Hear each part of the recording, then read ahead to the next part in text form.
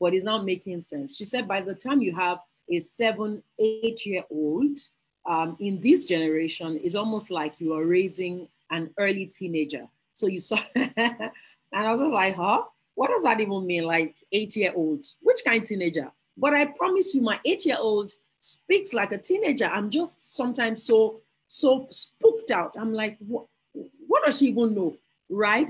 Just this morning, she said she wanted to have a conversation with me on behalf of her siblings. And she was like fighting for everybody that, you know, she didn't like how I said something. I'm like, ah, hello, I was already a grown woman before you were born. You don't understand. Like, what do you what do you know about? but yeah, the conversations are different, the prayers are different, their questions are different, the answers they want are different. And it's just those evolution of seasons that also shape how I reorganize my time, right? In, in terms of how I invest in being present and delineating my, my schedule to reflect my desire to spend more time with them. And then even in the learning content that I put into the time we spend together, right? My, my daughter doesn't want to watch, you know, just one Bible story now. She wants to have like serious conversation, very serious conversation about God, about Trinity, about how one person will now be three people. I should break it down. So sometimes I'll just be like, wait for your daddy. Your daddy is a pastor. Just wait a bit more. when he comes, we can have the conversation. Just kidding, but to say that the recognition of seasons have been a game uh, changer for me because it is what I sense the Lord is putting a highlight on that I also choose to put a highlight on. What you find is if you focus on the things God wants you to focus on in different seasons, when a new season opens up and God is calling your attention more to something else, your other balls are not going to drop in that sense because you now have infrastructure carrying you know those seasons do you understand so when I'm in a book writing season, which is something I'm just getting out of, right? Um, my husband would be like, Yeah, I can let you be because I know that when you are done and you're not doing all this overnight parole, I have you to myself because I keep making it, uh, you know, good, very good investments in the seasons where I am not, um, I am, I, I don't have to be up at night writing or working on a project. And it's almost like the law of investment, the law of kindness and investment. So because of the way you treat a season, um, you know, and the demands of that time, when you have to evolve into a new season that is just a temporary window of opportunity that God is harnessing for you, then those around you can understand. Do you see what I mean here? So seasons are definitely so important. I don't, it may look like I'm doing a lot of things, but I'm not necessarily doing a lot of things. It's the structure that I put in different things that continue to speak for themselves when I have to zoom in and focus more on one thing in a particular season. Um, can I also just say this from the point of view of not necessarily things, but also being, right? And what I mean with that is sometimes God is highlighting a season you're in, and it's not about in this season, you to uh, work on this project, or in this season, I want you to focus on ministry. It's sometimes in this season, I want you to pay attention to this about yourself, right?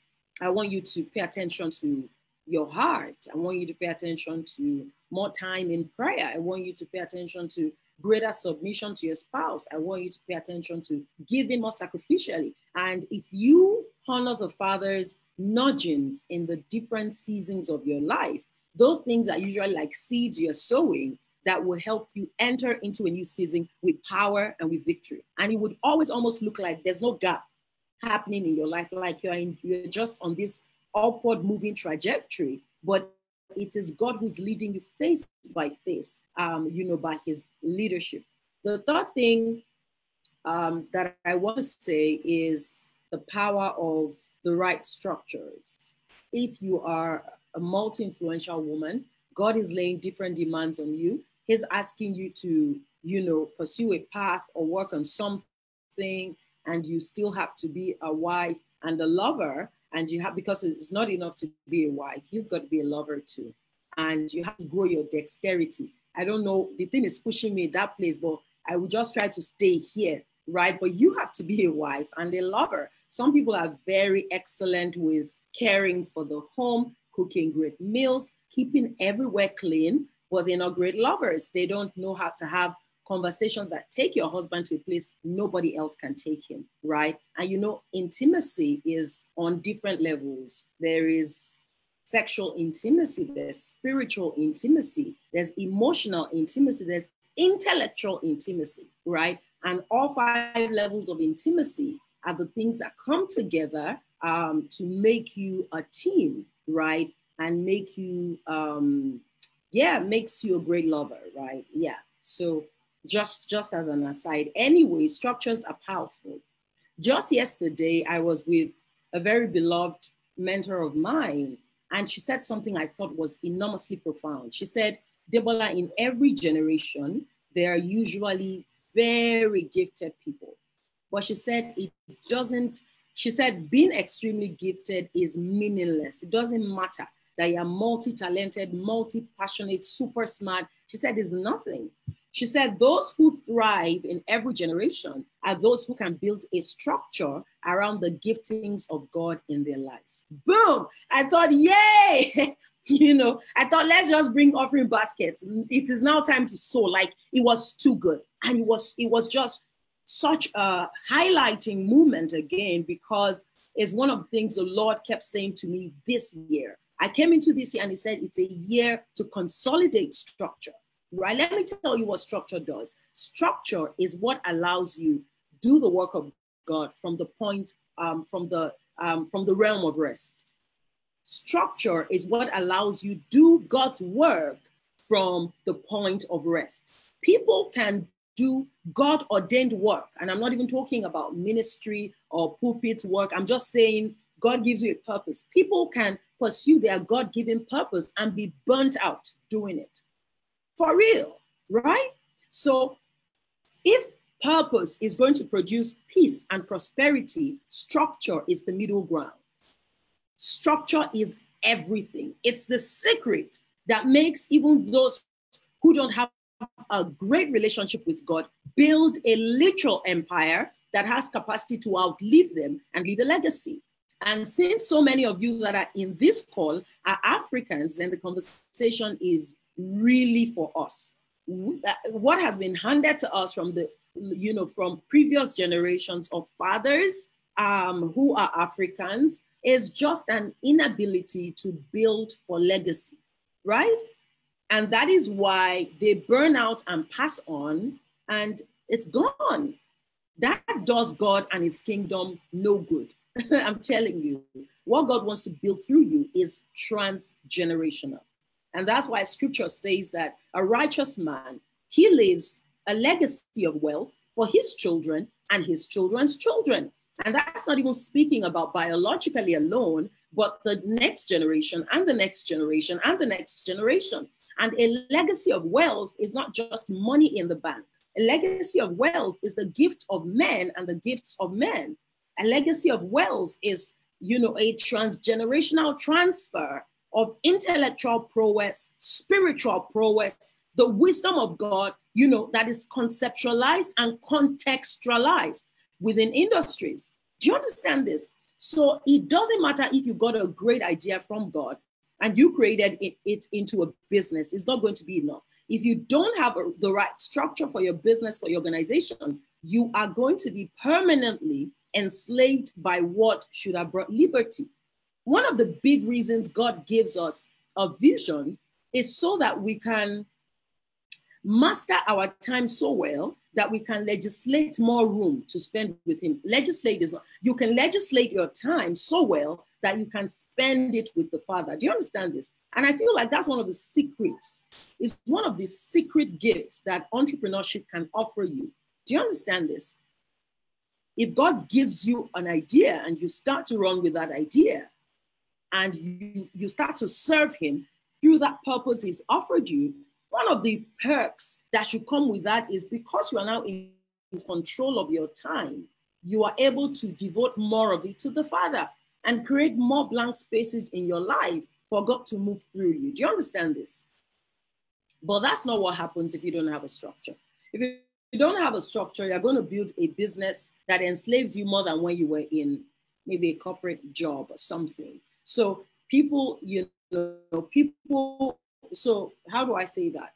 A woman who is a stay-at-home mom can be overwhelmed, more overwhelmed than someone who is running two or three businesses. And, and business is no an entrepreneur because in being a stay-at-home mom, you are actually a different kind of entrepreneur. You are in the business of souls. You are in the business of destinies. Do you understand? You are still in this transaction where you are selling a solution, intentional parenting, compassionate parenting, where you are raising and building with God legacy. But the point is, there are so many stay at home moms, for example, who don't create systems, structures, the power of an excellent schedule in their lives. And they're just overwhelmed that they are cranky and, and it doesn't matter again that you are even a stay at home mom because you are there, but you're not there. So, structure has been the game changer in my own life. It's been the game changer. Across my different businesses and um, my nonprofit organization and ministry, we have a team of over 1,000 staff members, interns, volunteers, and partners. I'm telling you. and there is a robust architecture where everyone fits in somewhere and they are serving and they are reporting to someone who's reporting to someone who's reporting to someone who's reporting to someone who's reporting to me. and we have all these meetings where there's a breakdown of the work that is going on. And I'm eternally grateful for the gift of men right? And can I tell you a secret that the Lord shared with me in 2017? He said that for every divine vision, for every season of life, and everything I've told you to do, whether it's just being, right? Just being a believer who loves the Lord. In each of those seasons, there are people the Lord has ordained to walk your path with you. But for visionaries who are leading an assignment in particular, and for entrepreneurs, it is structure that opens the door to the harvest. You, you remember the scripture that talked about the gates of your life being open and the merchandise of the nations coming in with their people. God wants to do that for you, but it is structure. And this applies to churches too. You could be praying and preaching a great word and trusting God to bring people into the into the work. But if you don't have a structure, it's just going to be like a basket that is leaking good stuff. People are going to be coming in through the front door and they'll be leaving through the back door and you're not even going to know. I could go on and on and on and on with the matter of structure, but it's just something you want to start to explore. When we get to the question and answer point, if you ask more questions, I could lead you to a few resources that definitely help. Number four is, of course, support system, which I've spoken to a little bit. Um, so I'm not going to sort of become pedestrian with it. But I'm going to tell you three things that I believe are super helpful um, with support systems. The first is when we talk about an effective support system, I'm not even saying getting a caregiver. I'm not even talking about getting a nanny per se. Getting a nanny is great, you see, but a nanny is not necessarily uh, an effective support system until you have cloned your nanny. That's where the hard work is. To clone your nanny is to train them and to pour yourself so much into them that they can simulate the exact same experience that your children would have had when you are at home as if you were not at home. I mean, the exact experience your children will have if you're not at home in that moment, as it would be if the if you were at home. And I'm not trying to say your nanny can replace you. That's not the goal. But when it comes to, for example, the schedule that you have for your children's day, the kind of conversations they can have or can't have, the kind of TV they can watch, the time of their tab, and how you've even automated that with technology, which is still all about, which is still all about structure. Let me take you back a bit to structure. You know, in the past, I used to be like just so concerned about some things I would love my husband to do that he wasn't doing. And I'll be like, why won't you even remember? Like, ah, it's something that's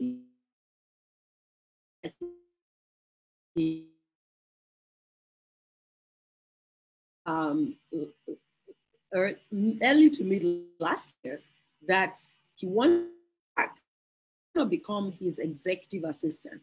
why not schedule for you doing it? Why not schedule it on Google Calendar and let him get the invitations? Let him get the alert saying that, you know, Friday is date night and Wednesday is, uh, you know, our time of vigil and Saturday is family Bible study or whatever it is you and your own family want to do. Do you see? And plug that in. So that's an example of structure. So I'm not even just speaking to your business, but even to your life. Okay.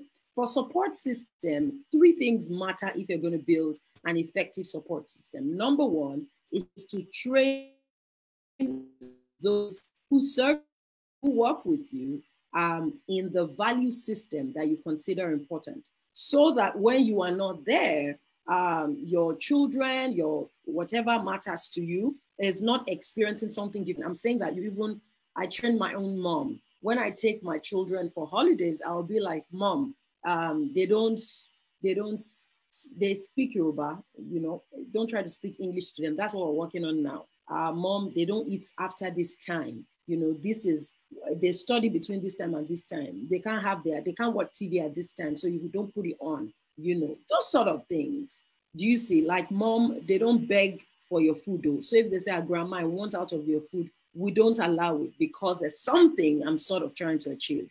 That is how the, your mom, for example, becomes an effective support system. So you you you train with the same value system and the same belief system that you have and you want to model. That's important. The second is you actually have to learn to ask for help, right? And that's me preaching to myself because for the longest time, I would just want to do it on my own. But I started to learn how important it is. If I'm not pushed to the wall, I'm not going to ask. But now, even if I'm, I, I don't need to be pushed to the wall to just feel like, guys, please come and go to grandma's place. Just everybody first go first. I just want to be alone. Um, so asking for help is definitely very important. And then uh, the principle of reciprocity is also important. When I see people who mistreat their nannies, I, just, I think is a great degree of foolishness. Personally, no, no, I don't have any intention to be rude. I'm sorry, but no matter how upsetting, annoying that person is, as long as they're still in your house, mistreating them, talking down at them, you know, hitting them, withholding their salary, um, acting as if they are second class citizen it's so counterproductive. I'm like, which, which woman does that? But you can so see to your pastor, you can give gifts to your boss. What are you doing? What are you even doing? That's a person that is in your house with the treasures that mean the world to you. I don't understand it. I never get it. I never get it. For me, my caregivers who are in my house, can I be honest? They are more important to me than the staff who are in my office because my staff are offering transferable skills. My caregiver, I pour so much into her that to repeat that transfer process is a lot of work. So, what she's offering me is premium value, especially when they have the right heart.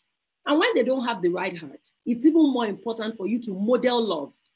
Because if you, you if you continue to model I don't understand it too. Like she doesn't have a great heart. She keeps malice. She's very rude. And then you are you are being harder on her. She's going to be giving you more of that stuff. And I feel that's a word for someone. So when we talk about support systems, you have to use the law of kind reciprocity. And that basically is invest, put your money where your mouth is, put your gift where your mouth is. If a relationship is of value to you, then invest in that relationship. If a relationship is important, as a support system to you, invest in it. Invest in your mentors, right? So that when you need to withdraw, withdraw, you are able to do that.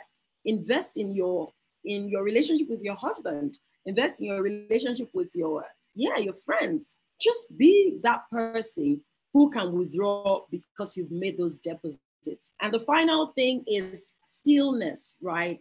And I love to say, steal your steel.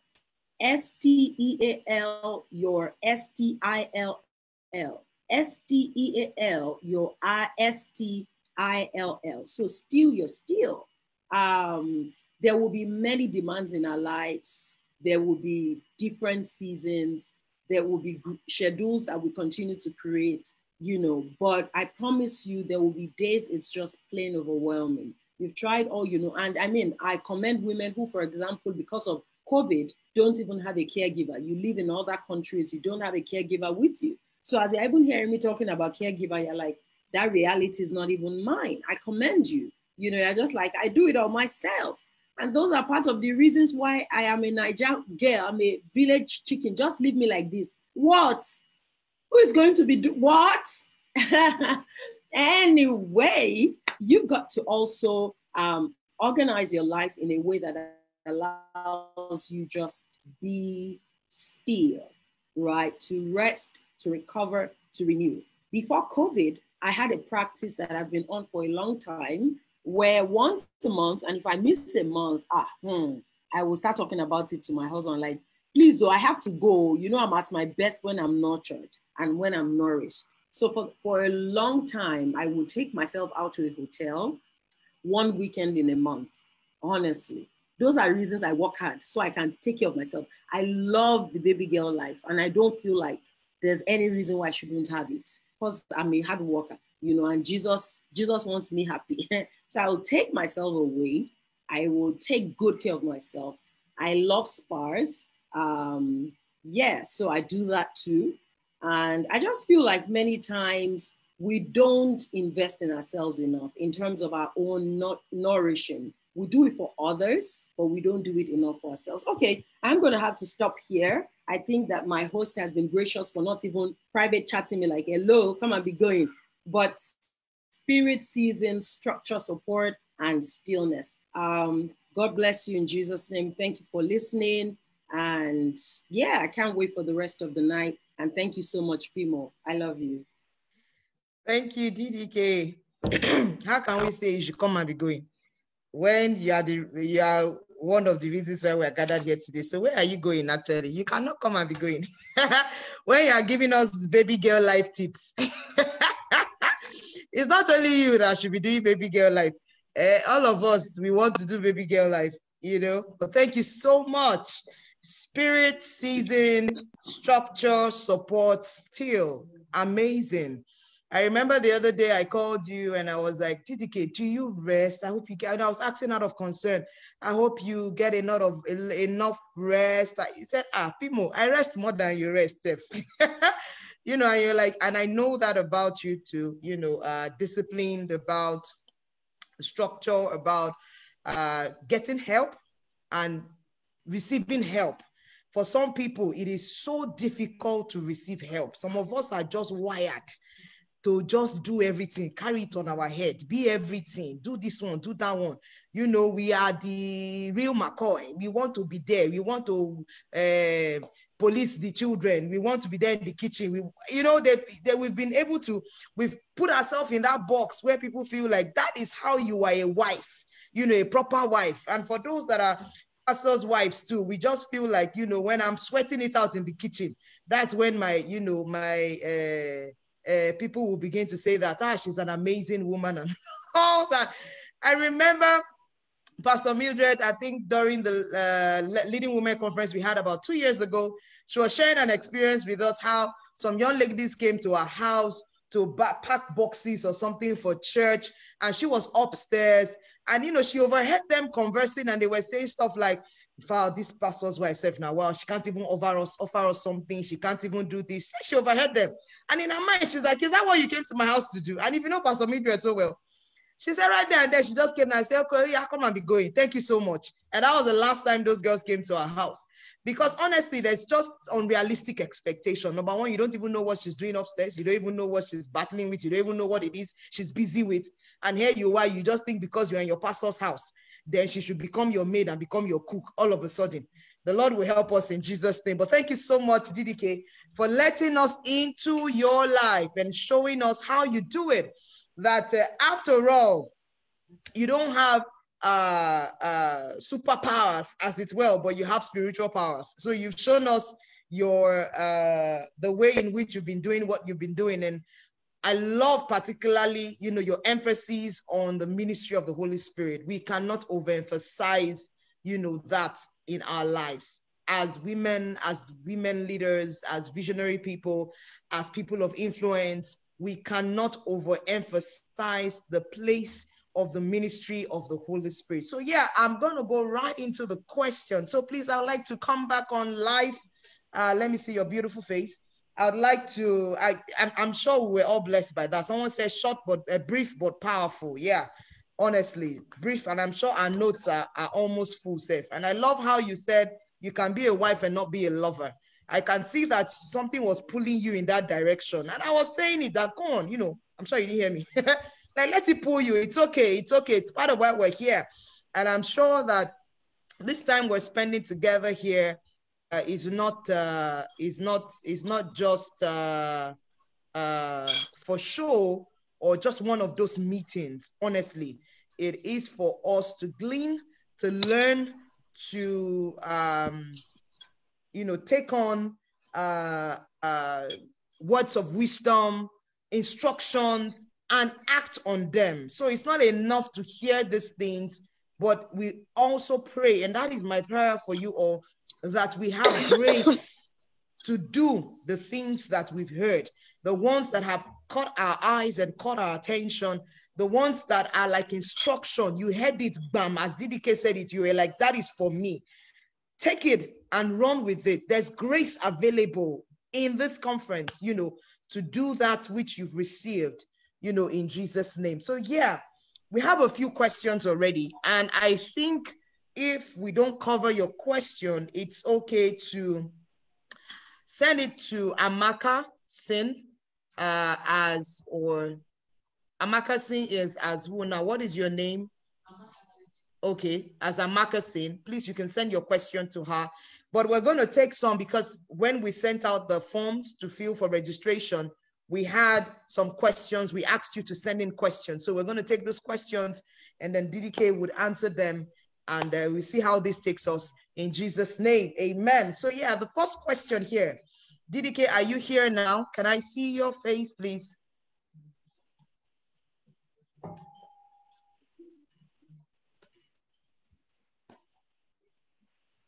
I'm in here, Ma. The host just has to allow me stop my video, but I'm here, okay. Mama. I can hear you. Host, why isn't she starting her video?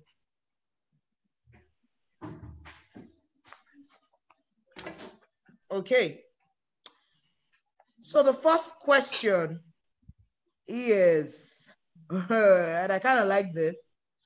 It says, um, how will you counsel a woman with a definite call of God upon her life to manage ministry? How do you how would you counsel her? She has a definite call upon her life. How will she manage ministry, the home front, her career, especially one with financial struggles, with economic constraints? Wow, so that's how like would you? Really, a really powerful question. I love yeah. it. Yeah. Okay.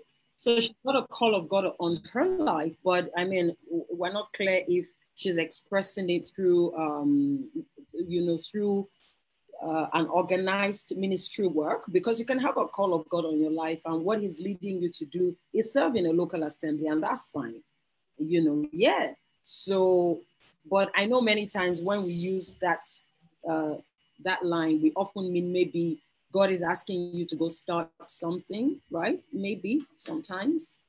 So um, she's got a job, meaning that she has a, a source of income, right? Right.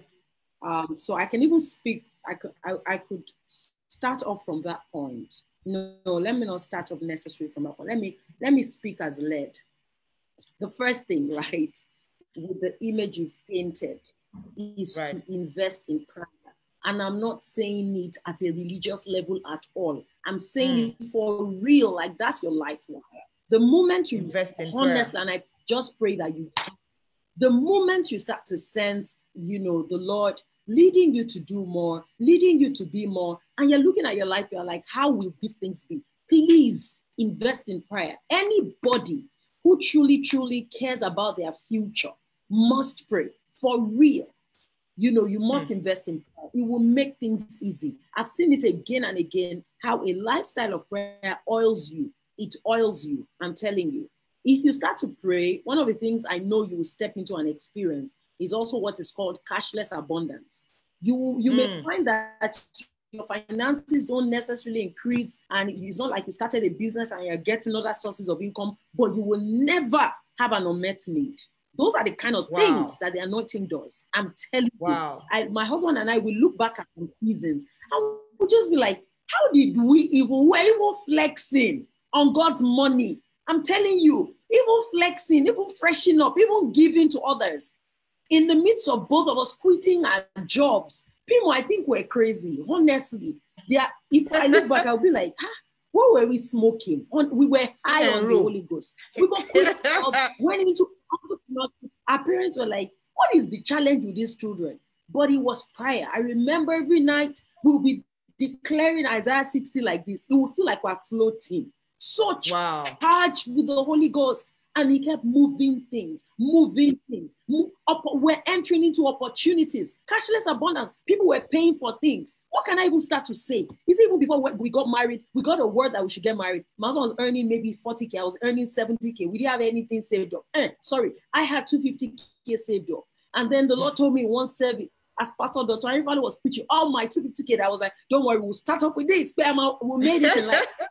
And then Pastor yes. was preaching that Sunday, and the Lord said, Can you borrow? I can never forget. And I know anyone can say, Does God borrow, ask you to borrow money? That's what he said. He said, Can you borrow wow. me thousand? Yeah. I was just it can never be the Lord talking to me because even God, He knows, wait, there's a need for this money. I gave that 50k. And as I got downstairs, my husband came to pick me in this BMW that I had pushed twice, you know, because the car has a mind of its own to just stop in the middle of road. And I said, I've given the 250. And he started rejoicing. That's when I knew, ah, this is a kingdom man. I'm, I'm going to be marrying the right person. It was like, glory to God. If God is laying a demand on our all, then he has something planned. People, we got wow. a house that paid rent and we moved in. The woman who wow. moved out and said, God told us to allow us move in. She left bed frame, TV frame, cutting, uh, wow. dispenser. She paid electricity water bill. I was just wow. like, sorry. Yeah. So invest in prayer. That's the first thing. The second thing is th- there's a distance between when God begins to alert you about an assignment and when it is time to step into it. Yeah. I beg you, by the Spirit yeah. of God, do not move ahead of the Father. I almost feel like going later than the Father is sort of, if you ever are, in, are, are out of consonance with Him, oh, it's better to be late than to be in a hurry it, or else it will mm. look as if yeah. it, will look like God send you. So you want to really just follow step after step. Don't be in a hurry because the distance between when you start to hear and you're getting this note that there's a call on my life and when he begins to say, step out, do this for me. What he does in that process is, is the work of consecration. Is when he takes you That's right. the refiner's fire. Is when he kills you to prove a point the desire to amass, the desire to also be known is when he asks you to serve in obscurity so that when the, mm. the, the moment of, of the weight of glory come, you can carry it because the weight of glory is heavy and it takes concentration yeah. and character. Yeah. So he does that one, you stay. Number three, please sell it to your husband until he buys it. Mm. If there's a mm. calling of God on your life and you were not already already in ministry before you got married, there's something called the evolution gap. Every man, no matter how anointed, will have a little challenge with it in the beginning, like, hmm, mm. is this calling, calling? In the beginning, he may even sound like, I'm here for you, anything you need. The moment you start to be go- pushed out, and there's some degree of, you know, you're going out there for real and doing this thing, those those emotions start to rise like okay. And it doesn't mean he's not with you he's insecure all, all, all of those. It's just that evolution is uncomfortable. Yeah. when we start to evolve into a new level of being it's uncomfortable for our partners is what it is. So ah give me a wisdom. Because even if you started ministry when there are new levels emerging you have to be representing the changed you and say these are things god is showing me again. This is where i'm wow. going. So you say the final thing i would say is please do not live above your means. Because for you to have introduced mm. that final part, eh, it's because maybe eh, it's what you are earning. Stay there. It's what you are earning. Yeah. Yeah. Make plans within that allocation for now. Mm. Because it's mm. even in the way that you honor God through your the way you manage your finances that qualifies right. you for more. So yeah, don't buy human hair. You know, yeah, just be in that zone and be content. Yeah. Awesome, awesome, awesome. Thank you so much. That was awesome, brilliant. I love that. I, I love that last point. Stay within your uh your your means. You know, don't go above. You know, there's this, there's this, there's especially if you're if you're if you're a pastor's wife, there's this mode that we've been put into. You must carry the Gucci bag, you must carry the this and carry the that, you must look somehow, you must always look presentable. I hope you have a, have, session where you're going to talk about these things. That, that's, what, that's, that's what we are saying now. We're having this conversation together now. Fantastical is Honestly, a very serious matter. Because so, someone will look like, I'm telling you, someone will look at eh, a Mrs. B you know, and be admiring her her her her, her Gucci bag, her Gucci shoe, admiring, you know, where she lives and all of that. But they would not know that she didn't start that way. She has a story to her process. Thank you, you Ma. I'm oh, telling oh, you, honestly. And so, and then whoever said that a pastor's wife has to be in that mode, honestly, who said that is how we should always look that the human hair has to be on us, as in we just have. Oh, good. God knows that I've been I've been delivered oh. from that long ago. God knows. so honestly, live within your means. Don't go borrowing. Don't go law. I don't know how to say that in English. Don't do beyond yourself. You know, just live within your means. Amazing and profound. Thank you, Debola, for that. Uh, so the next question is how do you operate above church ministry drama? How do you operate above church ministry drama?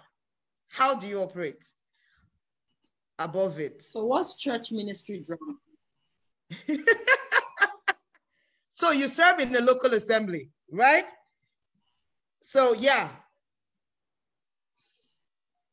That's ministry, there's ministry drama, Debola. I'm sorry. Honestly, I don't know what ministry drama is. That's the question. How do you operate above church ministry drama?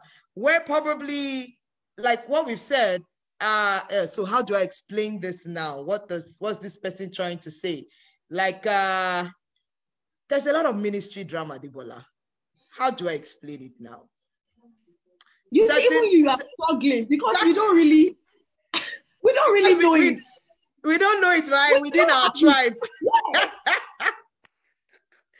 we don't have it within our tribe. no. Well, maybe they can share a bit more. Although I can say one thing oh, for free. Okay. Maybe I can say something sharp while okay. maybe our sisters then share it with us in the comment section what they mean by ministry drama, say, right? Yeah, maybe they can share more. But let me tell, let me okay. share from my heart three things. Three things, you know, that I know quickly is important. Number one is that I find this to be so true. The state of your heart mm. impacts on what you attract. People, I That's see fine. it to be so real. The That's state right. of your heart impacts on what you attract. That's right. So that is why there are things that ants will gravitate toward, and there, there, there are fragrances or odors that flies mm. will gravitate towards. The state mm. of your soul is almost like a fragrance. What is inside? Mm. I hope it's a fragrance and not an odor. I, I find yeah. this to be true. What is going on inside your heart?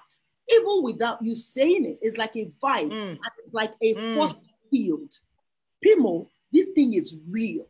I'm telling you that. So, so maybe I should give this kind of example. You know, both of us are like really different, even though we're so alike, but we're still quite different. Like you are maybe more outgoing, warmer, you know, sweeter. You're just like mommy yard. Like Jesus made you just like that, like mommy. Did you just say just mommy so yard now? yeah, just it. You know, just like you know, you call your mother and Israel. So yeah, you just have that kind of thing, right? And I don't. I am more, okay.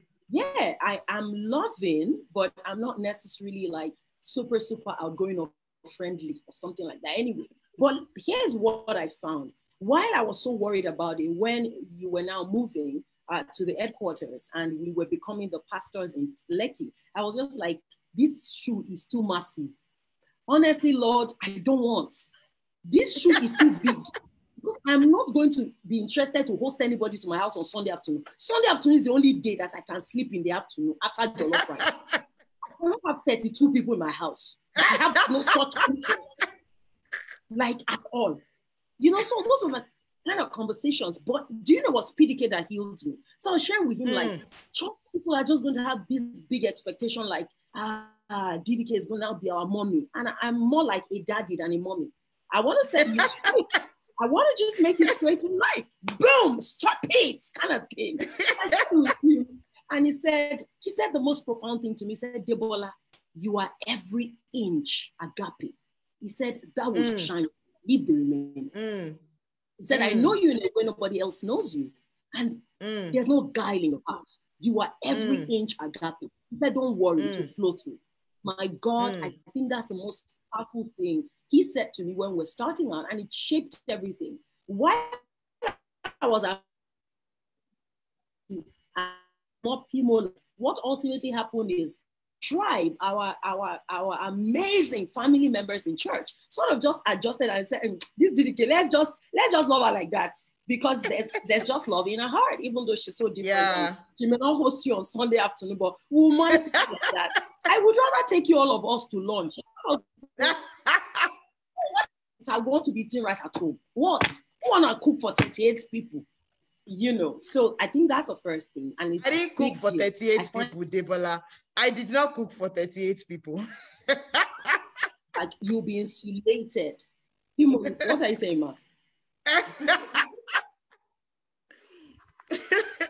oh my god. Okay. I, I didn't cook for 38 people. Yes. So that's the first thing. I feel like people who I know, you know, maybe like 29 or 27. But people, man, you know what I'm talking about. You know those schoolers we, that they'll be dragging out into the sitting room talk. Oh my God, what's happening to network?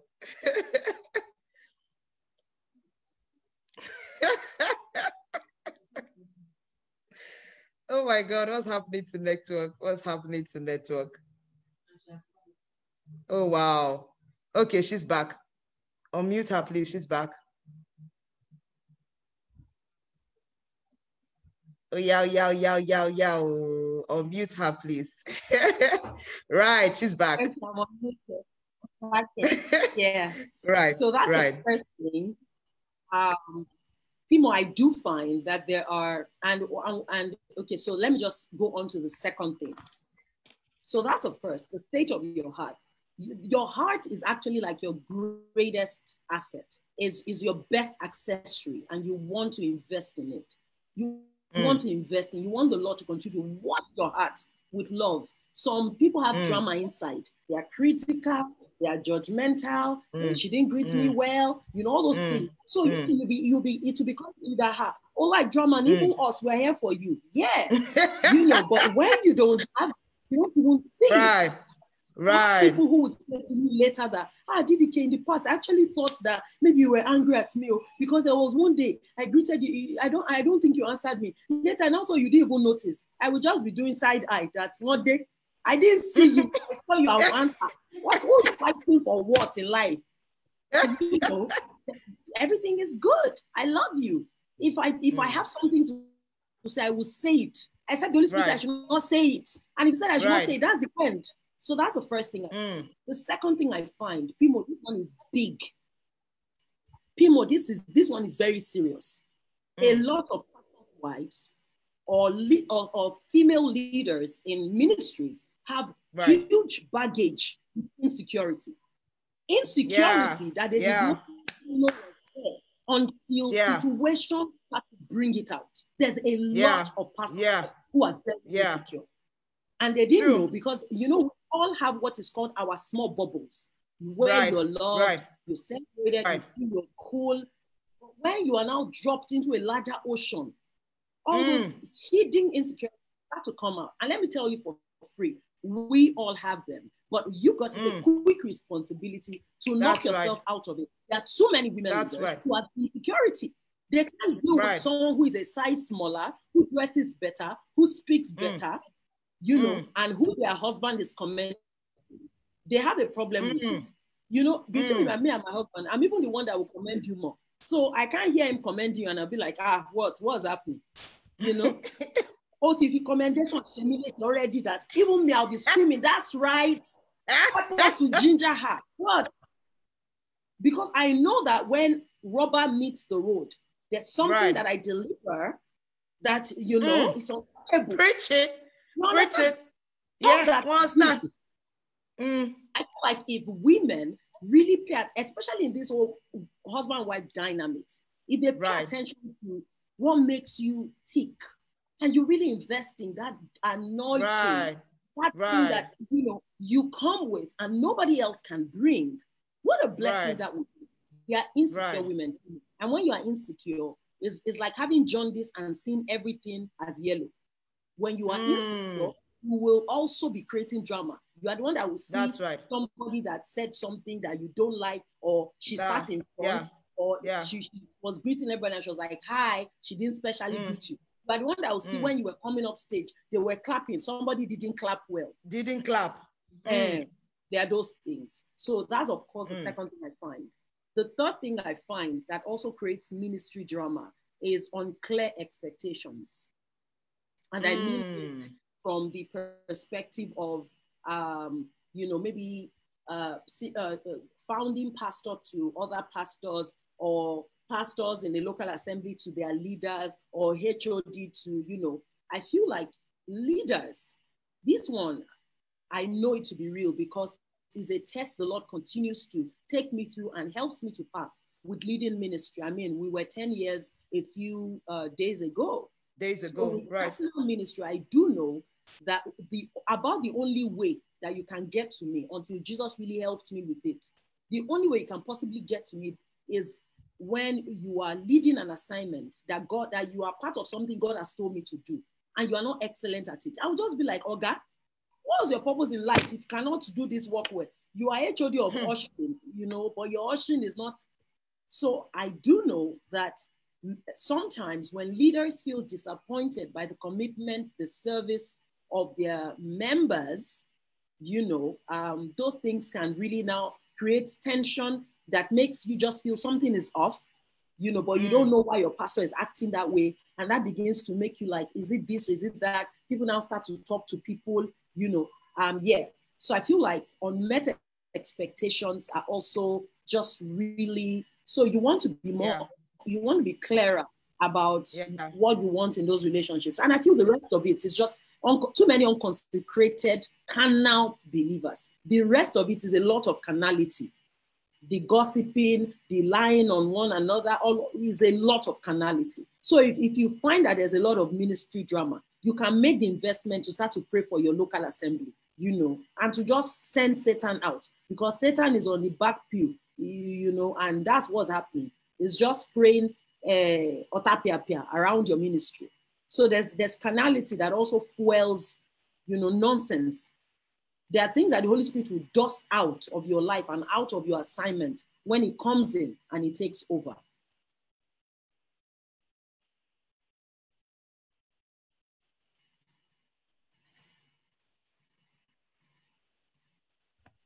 Sorry, I was mute on. Thank you so much for that. That that was profound. Honestly, that second point is big deal.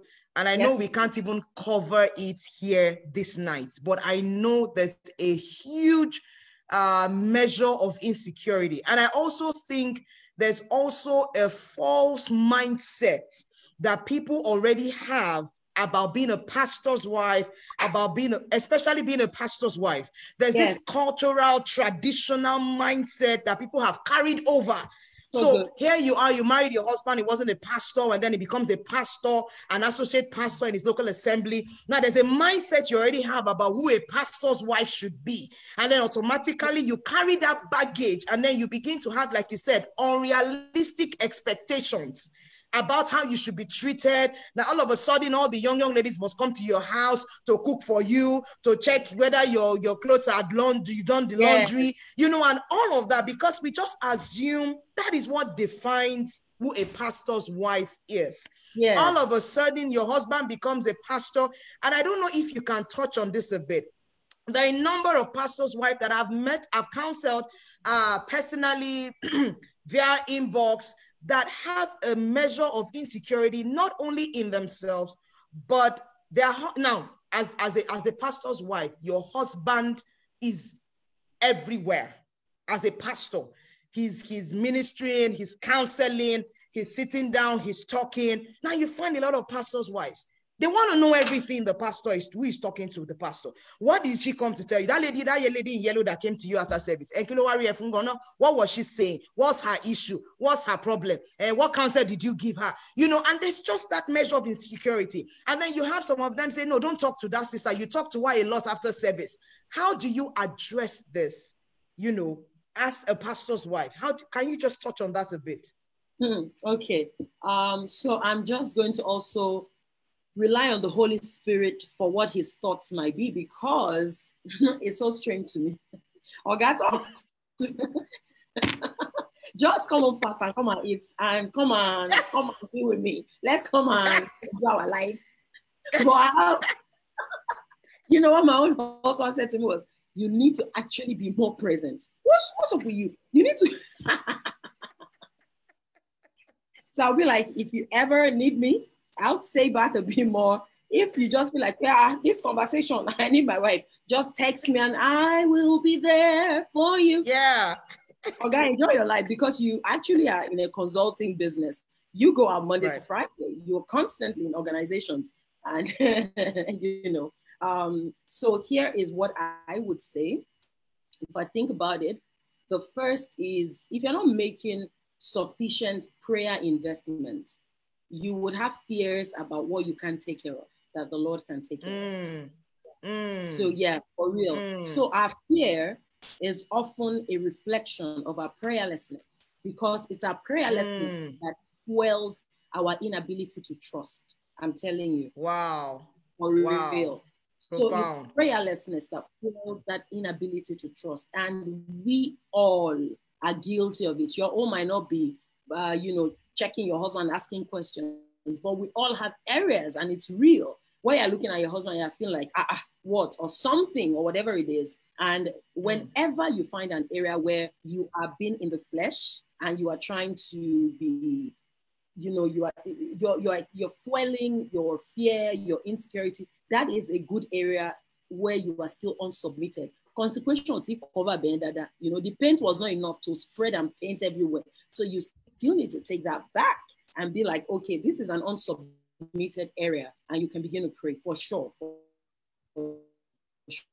Every time I've ever felt insecure about something, and I took it to the Lord enough, He took care of it. He definitely mm. took care of it.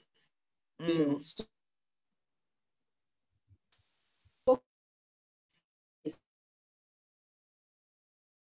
um, woman's insecurity, which is not a problem. So let's let's be let's balance it. The areas where you are insecure, so don't leave this session feeling like you you are a damaged person or you have a problem. No, but this is the way you can do it. If you're feeling insecure, you can flip it and and start to say, what will my husband do that will strengthen my need in this area, that will meet my emotional need in this area? Insecurity is often created by an unmet emotional need or an hmm. assurance mm. established, right?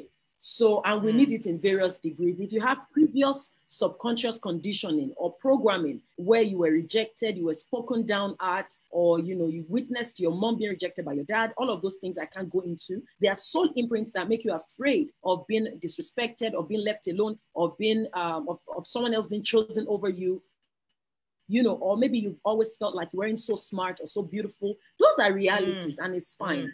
But yeah. what you can start yeah. to do is you flip it and, and start to say, um, how can my husband respond to me and treat me that this emotional need becomes met in my life?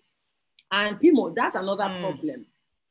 Many of us don't know how to have emotional negotiations where you say, you are the one that can do this thing. I sometimes feel like you're giving other people more attention than yeah. you're giving me. Yeah. And I know yeah. it's silly. I know I'm the one you love the most, but I don't mind more PDA. I don't mind more public display of affection. 90% mm. of women cannot say that. They can't wow. say that. It's just the same way women cannot ask for what they want in bed. They can't say, right. when you do this, it makes me feel great. They can't say right. that. So it just wow. all sort of associated emotions where you're just yeah. feeling like always on the receiving end, you know, like you don't feel like you have a voice. And and it's mm. not a mm. good thing. So that is yeah, um, yeah. The, the ability, it's called um, the competence of vulnerability. It's a competence. Becoming vulnerable to negotiate emotionally is actually a competence. We all need to grow it. Some of us have it in greater degree. I've grown it over the years that, you know, sometimes I ask for some things and my husband is like, ah, ah. I'll be like, once, ah, ah, you are the only one I can tell. If I don't tell you, you know, am I not wasting my time? I don't want to waste my time in my life. that what I, I must enjoy yeah, this, just this one life. Just this no, one life. Ah, and I don't intend to go anywhere. This is where we are together. This marriage As in, this is your bus stop. It must I must love it. I must work for money, you know. And I've asked of him things that were not even in his comfort zone. And I'll be like, I can meet you halfway. How can I help you? As in, text me. He matters to me. You must write poem for me. You don't get. Stop all this spiritual. I will. I can type the poem, send it. Then you will use my own to know how to write the next one. Yeah. so, so you instead of saying why you man of God, help yourself. yeah. You know, so instead of saying, why are you talking to her? Who are you talking to? Begin right. to say, why do you have this need to know? Mm. Oh, because I do feel left out. So you can flip right. that and start saying, right, you know, right. Can we, can we on our friendship? Can we, right. can we just more about how our lives right. are going? I feel like I'm missing you. I feel like I want to be more involved. You can flip it that right. way. And right. that right. a more positive one. So yeah, that's right. And people finally right a, another issue there is when you see those things, maybe there are underlying issues in your marriage that yeah. situations are fueling. That's right. Yes. That's so, right. Yes. That's so right. also now want to really thank you, Kate. Deal with that. Reframing. I love that. Reframing. I love it. Yes, ma'am. That's so right. You want to also now invest in your marriage and make it a better, stronger one. Okay. Awesome. Awesome. Um, so uh, there's a question here, and I think you kind of answered it uh, when you were talking initially at the beginning. What advice can you give to a growing leading woman on how to create structure so as to avoid burn burnt out? You know, but I don't know. Do you have anything else to add to that? I think you actually, you know, said a few things about that when you were talking about structure and support. But is there is there anything else? Because someone else asked even just now, that they would like you to shed more light on structure, you know, and also the resources you mentioned for structure. So I think this kind of like sums up being able to balance your life, you know, being able to juggle, being a mother, being a wife, being a minister, you know, being uh, uh, uh, uh, a child of God, a daughter of God. So yeah, they want to know more about structure. What do you want to say more about that? Okay, thank you so much, Mom. Um, sounds very good. So, a few more things to say about structure is number one, every structure is built from the point of view of vision, right? It's just like how we say faith really begins where the will of God is known. A life of structure really begins where the will of God for you in that season is known. So it is from vision that we start to break down what our lives should look like, right? So mm. I know what the Lord wants me to do. I know what He's putting emphasis on. I know how He has called me. And for sure, um, it shapes what else, how else I live my life. So vision defines you, it refines you, and it also confines you. You can't be everywhere and you can't do everything, right? So right. it's first important to take your recognition of who you are to the next level. So, your recognition of who you are, who God is in you, and what He's calling you to be and to do. And don't forget that things will change in different seasons, right? But it's important to know for now what are the top three priorities of my life? What should I really, right. really be paying attention to based on what is staring in my heart, right? From the moment you're clear about that, we can then talk about uh, maybe three to five more things that could be of help to you. Um, the first is that structure is really about scheduling, scheduling, right? Yeah. yeah. So you have yeah. to sit and ask yourself, how am I spending my time? Because your time right. is the standard unit of your life. Your time is the yeah. standard unit of your life. So how you're spending your time is how you're spending your life. So scheduling is the first fundamental uh, level of building structure in your life. Of course, the structure in business, the structure in, you know, but your life is like a full Generally. picture of, yeah, yeah, exactly. So scheduling is where you start from. I am very traditional with my scheduling, um, which means that I actually sit with an Excel spreadsheet. I've done that for so many years. And I break my, the way I work is I break my day into three hourly blocks and okay. I fill it with what it will contain. So, and the thing is seasonal because in a recent season, I've been going to bed at eight. And wow.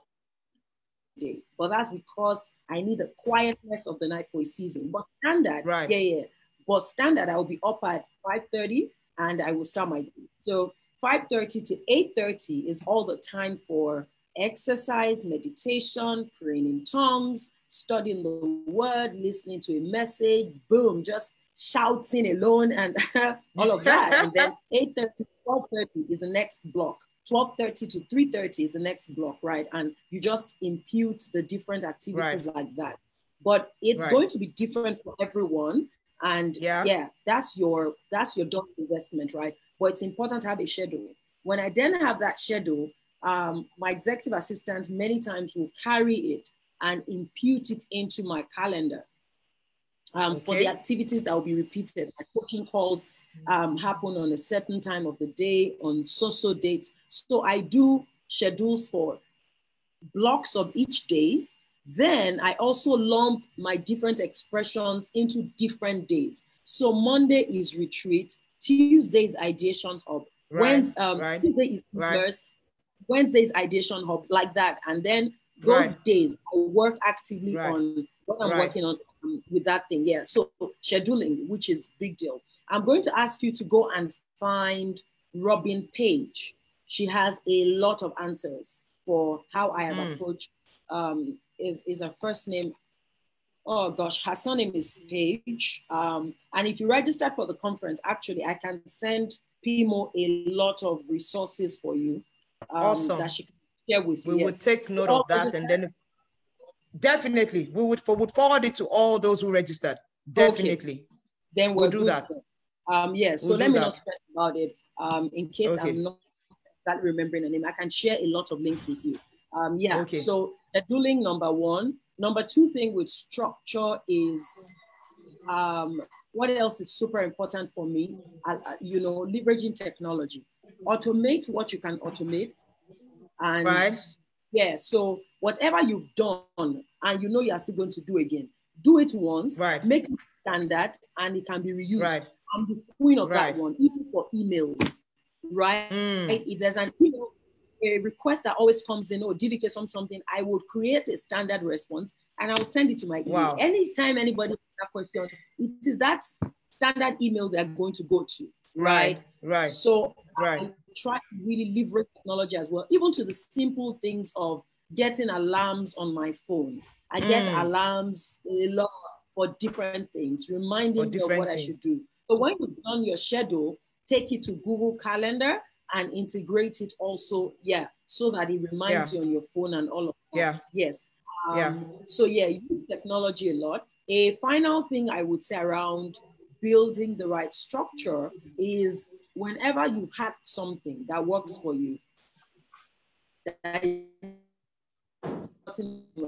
your team members, your caregivers, when people around you, let them know where you are going and pass on the knowledge you've gotten to them, right? Um, and then do frequent reviews with yourself and with your team. Even if you are one person, don't ever let a month go without you your goals, the things you've set to achieve, and ask yourself how far you've come. If you faced any challenges, how do you intend to triumph them? But I can move a lot more resource to PIMO by the grace of God. Right. And you can take right. that conversation to the next level. Yes. Awesome. So to uh, just layer on that on that thought, uh, talking about scheduling and talking about all of that structure. So there's a question here that says, many know you to be someone who has uh, most, if not all, of her activities planned out weekly. And this is a question Does it ever happen to you that God cancels out those plans completely for something else He would have you do at that season?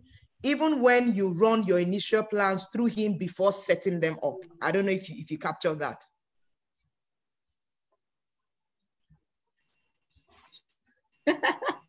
well, uh, well, uh, to the point now, that let, let me be through with the question so you can just answer it once and for all. Um, so the B says, okay, can you hear me now? Can you hear me? Yeah, I can hear you now. So th there's a B, a B and C part of the question. So let me just read through so that you can give a holistic answer. Am I still season? Who is season? Okay. All right. Um, I, I can see you and hear you. Am awesome. I the one season? Okay. You were season, but you're back on now. Okay. So the B says, if so, do you ever go back to those plans after the shift? The C says, how do you handle the change? Does it affect you in any way? And I think I would love a practical answer, a practical example of something that actually happened to you that fits into this. Okay, so yeah, so I mean that's that's great. Um, I have a few leaders in Deborah Initiative for Women here. Um, yeah, so so maybe I, I, can speak to a very recent event. So we turned um, 10 in September, and beyond that, we're also like experiencing a, a, a, ministry transition in terms of a number of things that we're evolving into that the Lord has told us to do and all of that. And in um, in the earlier parts of the year, I was certain that I really had an impression in my heart that the Lord wanted us to have like a grand 10th anniversary celebration, you know, and boom, like just it's been God had gave me the theme you know, the people to invite, what we're going to do, you know, and he even shared promises about what he was going to do through it and how he was going to, you know, and not people to take on the next level of their life and their work. And, and it was just good. So we constituted the committee ready to just fly. And you know me with all my project plans, everything. We had committee chairman and the team members. Everybody was buzzing. It was good. We were having prayer meetings about it. And then, uh, oh, at a point, it seemed to me that the Lord started to say, you know, back down on the 10th anniversary wow. celebrations. Wow. And, you know, yeah, just have uh, uh, Thanksgiving internally, you know. And I was like, ah, I didn't even, in the beginning, I was just like, Debola, you maybe you're being afraid because this is such a big ticket event, you know. But it kept becoming stronger, and you can't say you don't know your father's voice. So I was like, but I had a word and a leading about it, and I shared it. And then he said, What is important to you about the 10th anniversary? Why do you want to have it?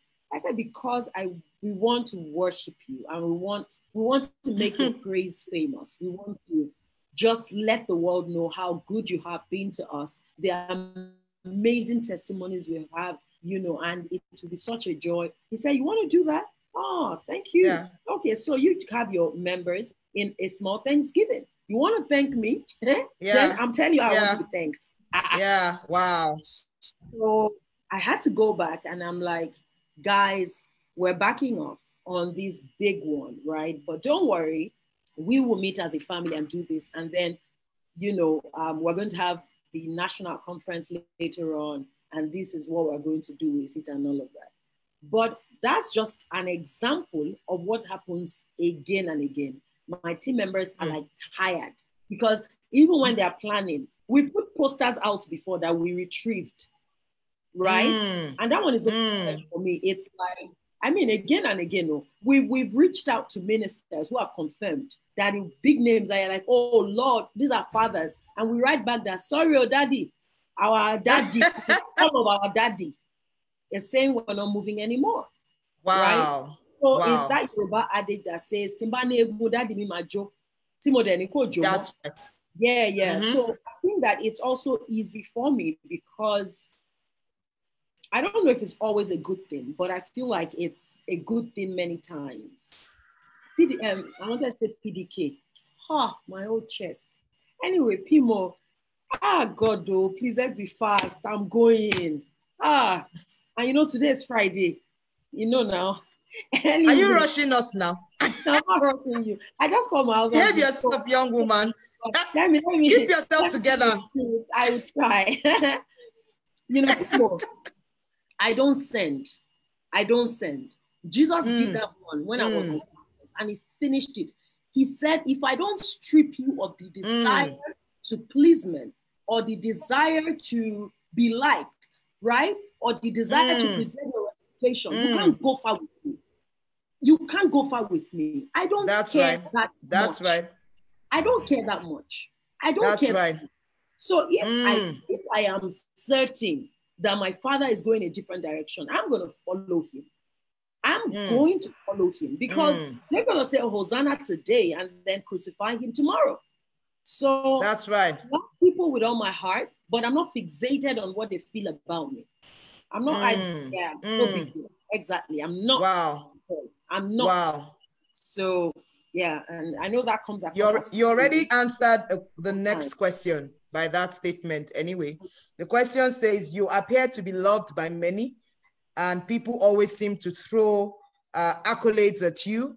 How do you keep your head above the water and not let these accolades define you? You know, and to chip something in a bit, how do you manage heroism? You know how do you manage it? Like you you have a large sphere of influence. You have a large number of people.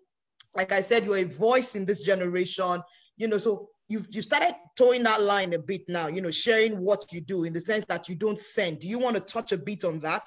How do you not allow the accolades? Because here are people who don't even have as much influence and they seem to be defined by those. For example remember the other day we are talking about how people are defined by the number of likes they get on posts.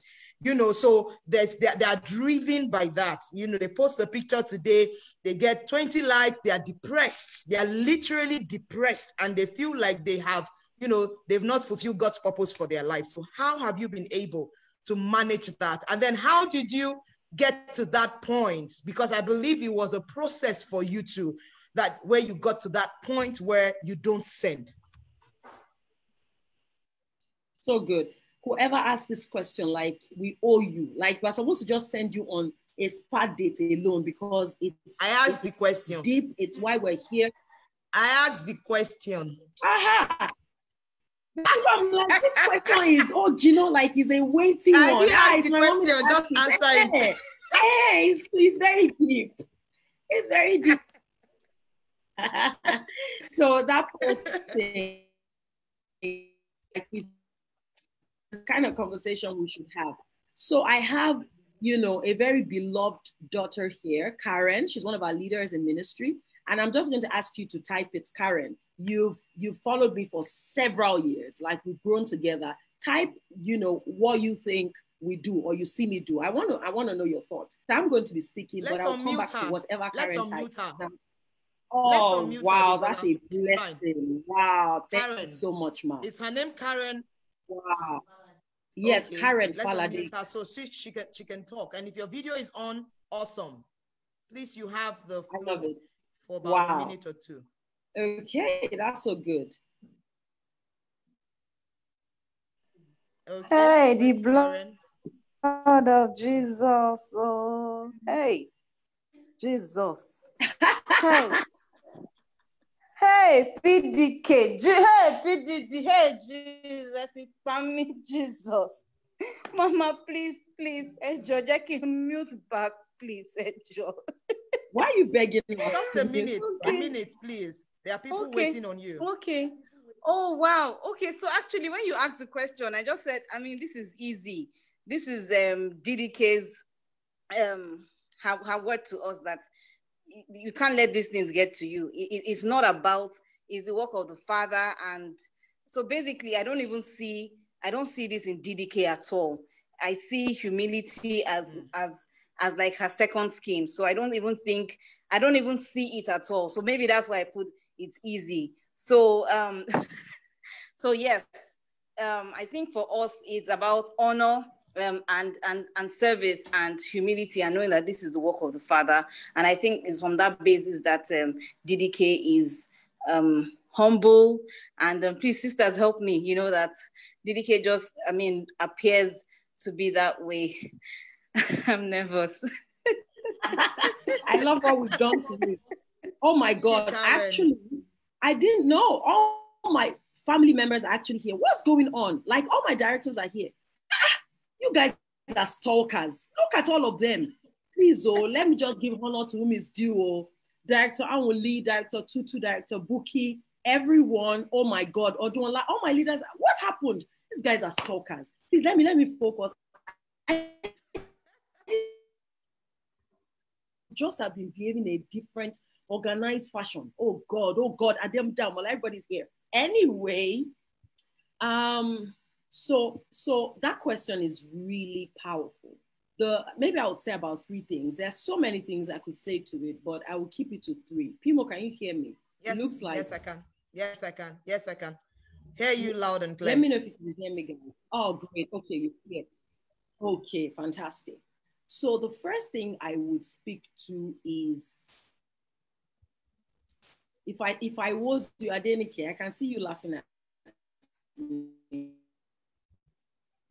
to honestly, Pimo, is, and I'm trying to say it in a very positive way, um, so that it doesn't come across in a funny way. I have a measure of fear for people. You know, mm. I don't know how to, yeah, I'm going to try to keep it positive, but it is what it is. I feel like one of the early intelligences that the Lord gives unto sons that he loves is a recognition of the hearts of men.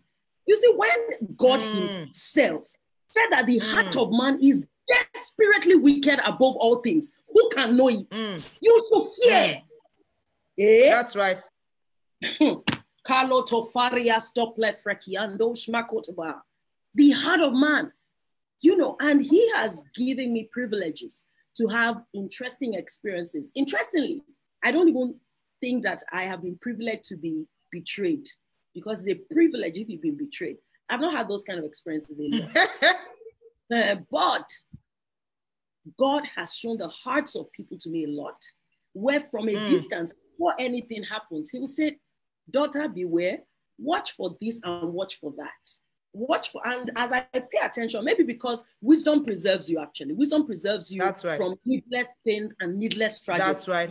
Yeah, yes, that's there are right. something you never experience just because you're following your father. And he'll say, just right. beware, beware, beware. And as I pay that's attention, right. the thing will play out in front of me.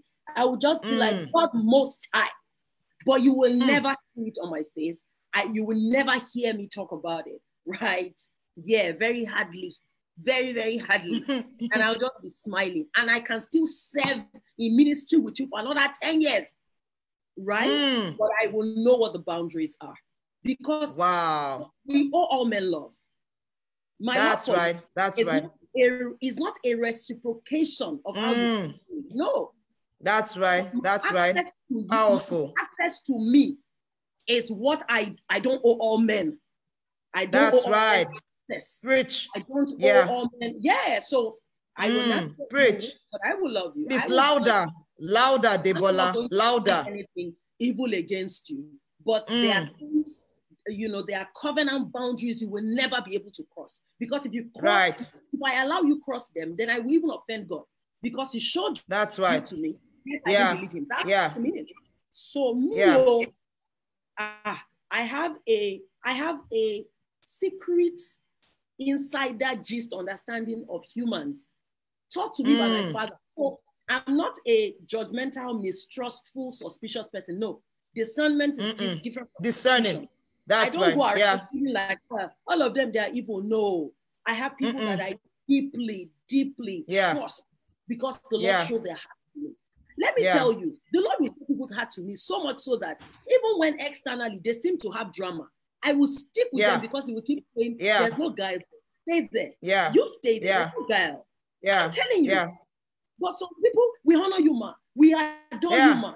You are the people who can slice bread, and the Lord will say, just face me, oh, Fry me, I'm your dodo. Fry me, I'm your dodo. Step on me, I'm your red carpet. You know, nothing, does nothing. So, and it's first from that standpoint. I think it's a prophetic privilege of being. Why is he hanging? okay, can you hear me now, ma?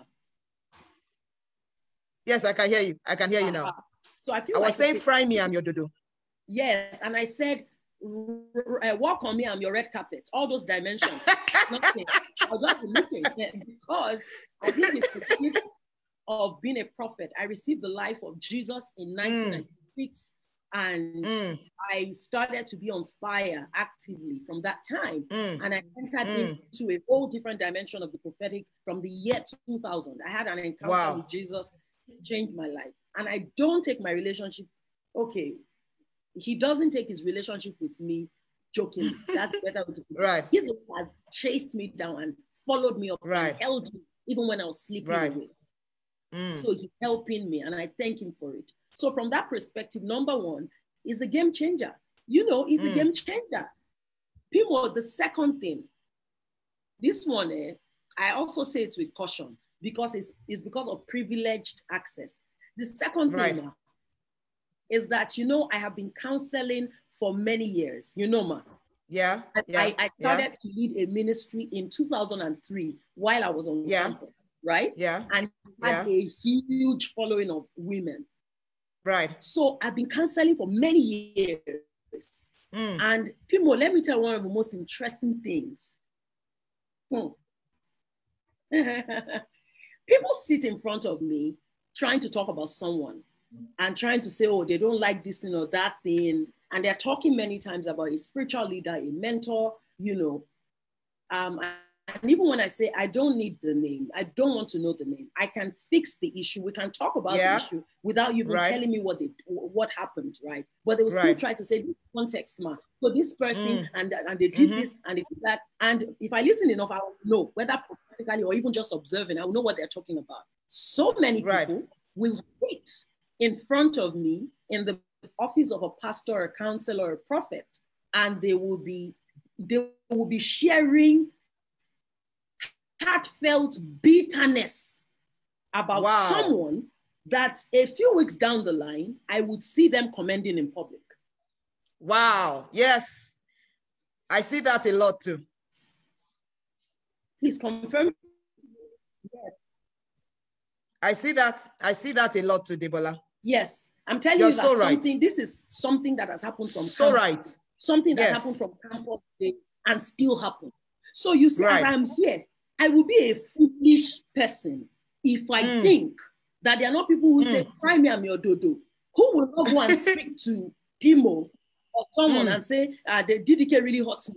And there are some things, mm. the way she behaves, mm. I, I, will be a mm. foolish person. It means that my mind, I am so high on my own supply that I think I'm That's right. Will be foolish. So, yeah. So, no, that's number two. Number three big reason, Pimo who I am compared to what the Lord has shown me and what He has shown mm. my fathers about me, I've not started. In fact, my wow. prayer, my fear is that I don't disappoint my Maker. Wow. Honestly. so, as wow. far as where He and it's not even just about me, like, oh, where he's taking me because I'm anything. No, it's about where the Father wants to lead the church. That's right. The place That's of right. prominence that he's taking the, our generation, a generation That's of right. saints. That's that place, right. We have not started to scratch it. We can't get mm. excited mm. yet. With that what? Mm. That what? What happened? Mm. You know? And to speak to that just a little bit more, honestly, my parameter of greatness is really different. And because it's different, if you praise the things about me that don't speak to what matters to me, it doesn't touch me. Mm. My, my Mm. parameter of greatness, for Mm. example, is when people who know me can say, Ah, DDK, Jesus is working on you. You are a humble person. Ah, no, DDK, you Mm. are a forgiver. Oh, you are a Mm. when those Mm. things I'm striving for to demonstrate more of Jesus can be seen, that you, That's right. Imo, can look at me and say, Debola, come on this call. It's the kind Yeah. of thing that gives me joy. That a Yeah. who knows me over the years, Yeah. who has mothered, Yeah. who has been an example of the faith to me, can look at me and say, there's a genuineness of faith in you. Come over and come and Yeah. share. Yeah. yeah.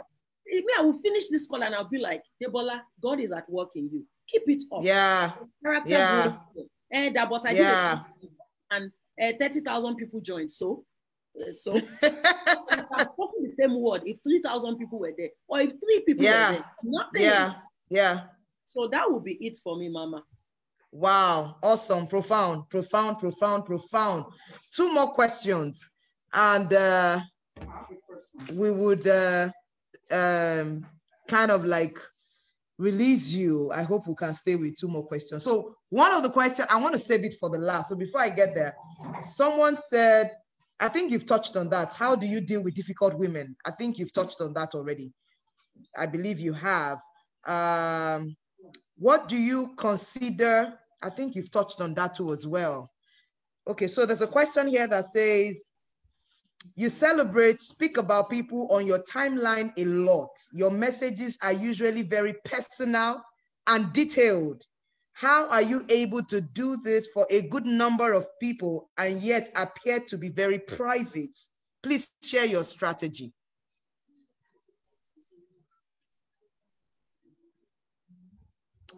Hello. Imo, can you take the question again, ma? Okay, like our season. You celebrate, speak about people on your timeline a lot. Your messages are usually very personal and detailed. How are you able to do this for a good number of people and yet appear to be very private? Please share your strategy. Who are the people on this call? Like, who are these people? Like, ah, questions are deep. they are very, very deep. Uh, it's uh, wow, it's it's really good. So if I say I want to say three things now, I know there are people who are going to like, and I've been watching all of you Definitely. laughing at me, but I want to say three things. Sorry, I will just say those three things, and that will be it. Forgive me. you know Trinity now. You know now Trinity. So what can we do again? We still have to follow Trinity. Mm. So um, what's going on? Everybody is here. Anyway, the first thing is um, privacy is not secrecy. And the recognition of the difference between the two is what really keeps you as a mystery, right? It's like, this is one mysterious thing. Like, you know her, but you don't know her. and it's sweet. so, privacy is not secrecy. Privacy is all about boundaries. And that's why That's I can never criticize anyone and feel like maybe you share too much. Yeah, you can you if if if it falls within the boundary of what you're happy to put as public consumption, that's That's fine, right. right? That's right. So privacy is all about boundaries. It's it's about knowing what you prefer to preserve. Mm, And the recognition of what you prefer to preserve is what determines um, what is out there and what can never be. Do you understand this? Mm. Right. So Yeah. that's definitely um, the first the first paradigm that shapes how I approach, you know, what I share. The second thing that shapes that powerful, beautiful question the person has asked about, but you go personal, you share stuff, is that I actually recognize that the greatest impartations are, impart- are vulnerable impartations of life, the most Mm. powerful impartations.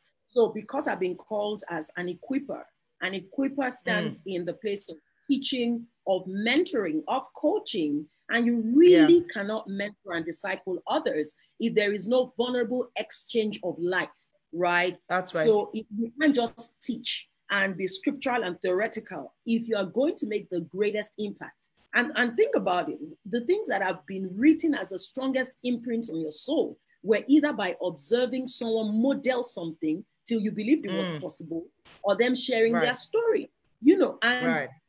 I mean, those are my own biggest takeaways from your time at Friends Colony. You know, yeah, yeah. the reason I would yeah. come is not even to gist. I just want to be looking at you in real life, being the wife to PD. And you know, PD is like a really different, weird person, like me. Like he just wants to be at home, just yeah. alone in a study, which is what I want to do with my life. I just want to be alone you know, so so yeah, so that's just to say that um, what makes me go deep but within boundaries is the balance between how I want to impart others with wisdom and grace without violating the boundaries of what I treasure and what is not out for consumption. And right. that's not, that's not tough at all because there are things that are good enough for you know sons and daughters to hear and have access to but does not touch the boundaries of what you still, you know, prefer to keep private, right? So yeah, so that's a that's, that's right. a second reason that that's right. mentorship is really about a vulnerable exchange of life and an impartation of, of that which is personal or that which you are modeling, right? Uh, but without also straining your privacy. Um, yes, yeah, so that's that's that's a second one. Of course, for for daughters and sons who are within a different cadre in my life again, they even know yet more. Do you understand? Yeah. So yeah. there is yeah. so there are yeah. those circles of access. And then the That's final right. thing is honor is the currency of greatness. Yeah. Honor yeah. is the currency yeah. of greatness. Like that's right. That's right. You, what you you know admire is what you attract, what you respect right. is what responds to you. So That's for right. sure, I'm always going to be someone who loves honor others. Um, and the thing about honor is that there is no one way to honor. The best way to honor mm. is to mm. bestow on others the finest gift. Some people are givers of, of mm. gifts, like material gifts, and do that. Some people are givers yeah. of words. That's my finest words. So to honor others is mm. to bestow your first gift on them. You That's know? it. Yeah, I That's can't, it. I can do that- those cooking like, ah, let me host you to a party, but I can honor you genuinely with the gift of words, you know, and words. be present when you awesome. yeah. Awesome. And I see you do that even for your big daddy up there. You honor him a lot with your words. So yeah, that's yes. you. That's you. That's you. Thank you. Thank you. One question and then one more question. Um, have you ever experienced low down moments? Moments where you felt like giving up, moments where you felt like, am I really doing what I should do? Moments where you felt like you were alone. How did you manage those moments? What practical things did you do to get out of such moments? Yeah, yeah. yes, absolutely. So people, this is funny. I get asked this question a lot that I, I, I started to feel that maybe I sort of come across like such a strong person. You've got it all together. Like you're so strong, you're always yes. so smiling. All your videos, you're looking so pam and you know, paying and everything is just looking all put together. Like you saying you have a three-year-old or how old is that young woman? It doesn't look like it. Like I, I, listened to one of your videos and you were talking about how you want to get them ready for Sunday service and how you're having a conversation with them and trying to tell them, you know, we need to get to church early, you know, and I was just laughing that you had to just switch to the, the back by La Barra. You enter that bathroom and just, you know. so really you look like you don't do all those things. Like you just come out and you're like, like you came out from a magazine, like you know, Hallelujah. my life is just paying like that. oh God, most time. so honestly, I, I would like to know. okay, that's that's a great thing to talk about.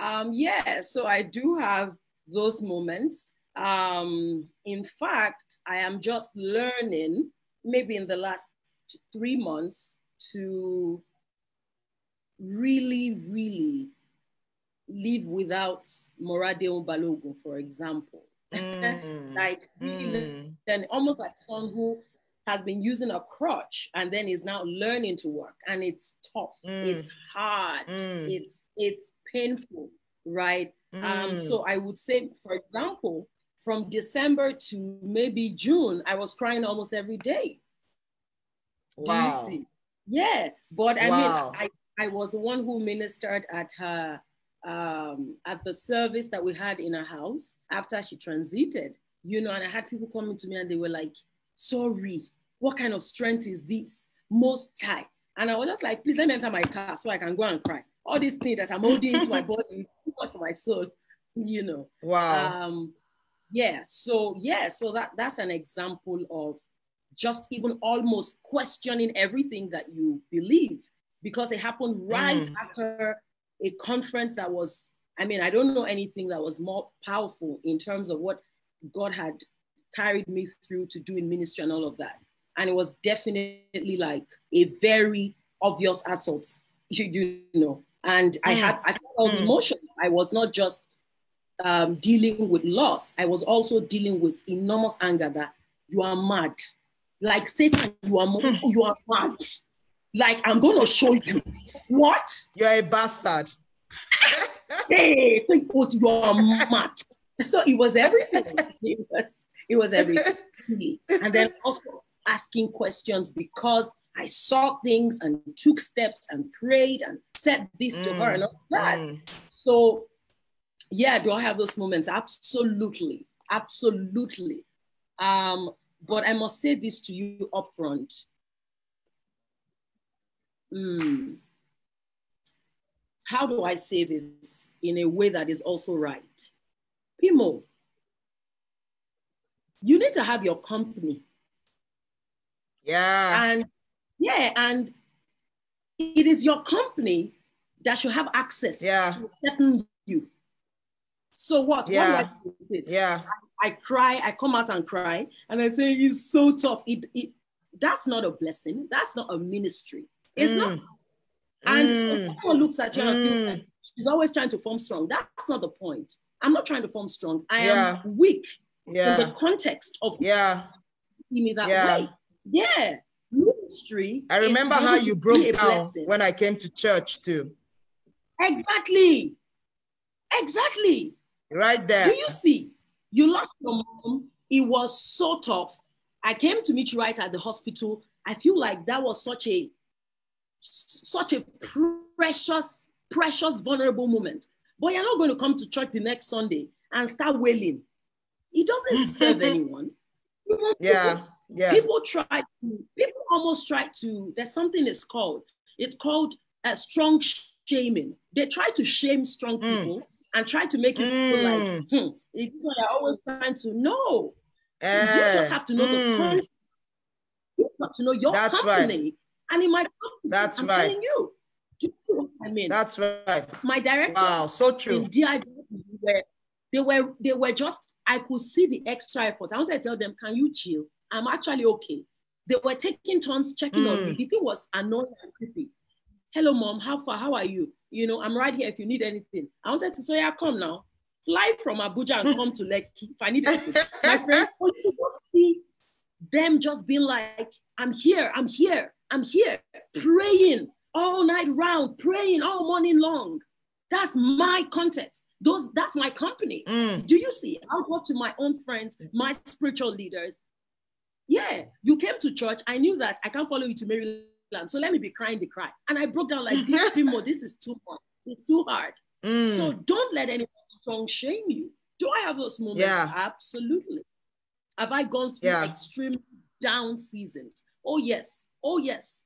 So that's just to say, yeah, be vulnerable in your company, have your company. You are only in danger right. if you don't have your company, but don't let anyone that's right. shame you. You know, strong that's is not right. wrong. That's right. So That's right. say what I do um, when I'm there, I do what the Bible encourages us to do. Number one, mm. I pour out my the afflictions of my soul unto the Lord. I pour it out. I don't. I do yeah. like David. I, I break my sounds. I don't say if I don't. I don't always say, Lord, you are faithful and true. Sometimes I'll be like, Where are you? I feel forsaken. Yeah, yeah. Mm. I'm like, I mm. need you with extra assurance. You know, yeah. That's so. I write it. I put That's right. of my soul. Do you see? I do that. I also wow. um, do not. I do not hide myself from those who can help me. So I've spoken about my company. I reach out. That's right. Better be praying. Yeah. So I amass intercessors. That's I right. To them about where I need help. Mm. I go to my spiritual leaders. I was mm. constantly calling them, saying, "How have you lost a member in ministry before? This has never happened to me. So mm. talk to me." And she was not just mm. my, she was my PA. Mm. Like this was, yeah, this was the person that kept my life organized, literally. Wow. I'm like, please, can you talk to me? Oh, what's going? How? Even if they tell me, and tomorrow I still feel like I want to ask again, I will ask again, and they will patiently repeat it. Yeah. And I will still ask you yeah. Know, if I get cynical, I will be cynical up front. I'll be like, hmm, wow, I don't believe that. So I would, yeah, yeah, would just do that, right? But the biggest thing that I do is I offer a sacrifice of praise. That's where my mm. healing always is. I will go beyond mm. pain, and in the pain, in fact, I, will be saying in my heart, like, I don't I don't go through pain a lot as much as many people go through. So this time, let Jesus mm. know that my pain cannot divorce me from my love for him. You know, so I will press wow. That pain and I will adore him. I will bring my best worship. I will write and I will read it out. You are my God. You are worthy to be praised. You are deserving of my highest mm. adoration. I belong to you eternally. You will bring me through the valley of the shadow mm. of death. I will be singing your praise in the mm. morning. My story will be an encouragement mm. to you. I will declare I would declare in that pain. I will be crying, I will be feeling it in my stomach, but I would declare. Wow. I will. And then hmm. the final thing is never, ever, ever, ever, as long as it gives you breath, must you make your pain an excuse for for wow. abandoning purpose. I serve wow. him. Wow. I serve him. Wow. Yeah, a few days after that loss, I was preaching. Yeah. And it wasn't that I was in denial. I drove myself back home, parked in the in the in the uh, garage, and then still cried. But I will serve in pain. I would serve in my discomfort. If he gives me an instruction, I will still obey it in the midst of that. Yeah. So for sure, those are things that definitely help me.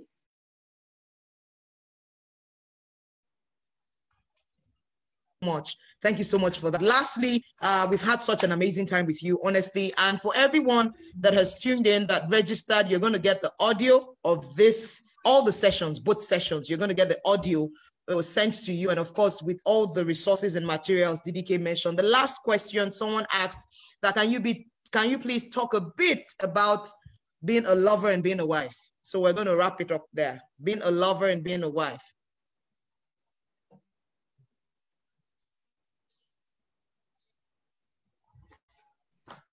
Hmm. Did you get that? Uh, I'm not going to talk about sex that much because we will not leave. You know, we won't leave, and you know, and it deserves a master class. So maybe if you can toast Pimo, maybe we can have a session in November or something. It deserves mm. a master class because there's a whole methodology, right? But let me share with you from my heart about being a wife and being a lover. Um, the first that I know is important is love is equivalent to the cross. Love mm. is equivalent to the cross. And I'm going to speak about that from two key points of view. The first is that your capacity to love is directly proportional to how much of Christ you are maturing into. The more you mature into wow. Christ, the more you can love. Mm. And that is why mm. some of the greatest so true. Stories, yes, mom. So true. It's just is is powerful. I'm That's so true. You. In fact, if we knew early, we would have just been growing our spirituality as we are growing yeah. our marriage. We will not be yeah. we will not be going to marriage seminars first. You didn't have a business. Mm. Honestly, honestly. And they will now make you feel guilty as if you're a bad wife. you would be hearing things that you are just like, what? Which man? Is it this one that is doing like this? Has he done it? All of that. So love is equal to the cross. And the first part of it is the more of Christ that is being that you're maturing into, the more of love you're maturing into in practical terms. I feel like really a successful marriage is a union between two consecrated believers. I didn't say born again Christians, so course can be born again, but there's still carnality to win in way like he's a duplex within your soul. So an excellent marriage is a union between two consecrated believers. and that's the first part of talking about the cross.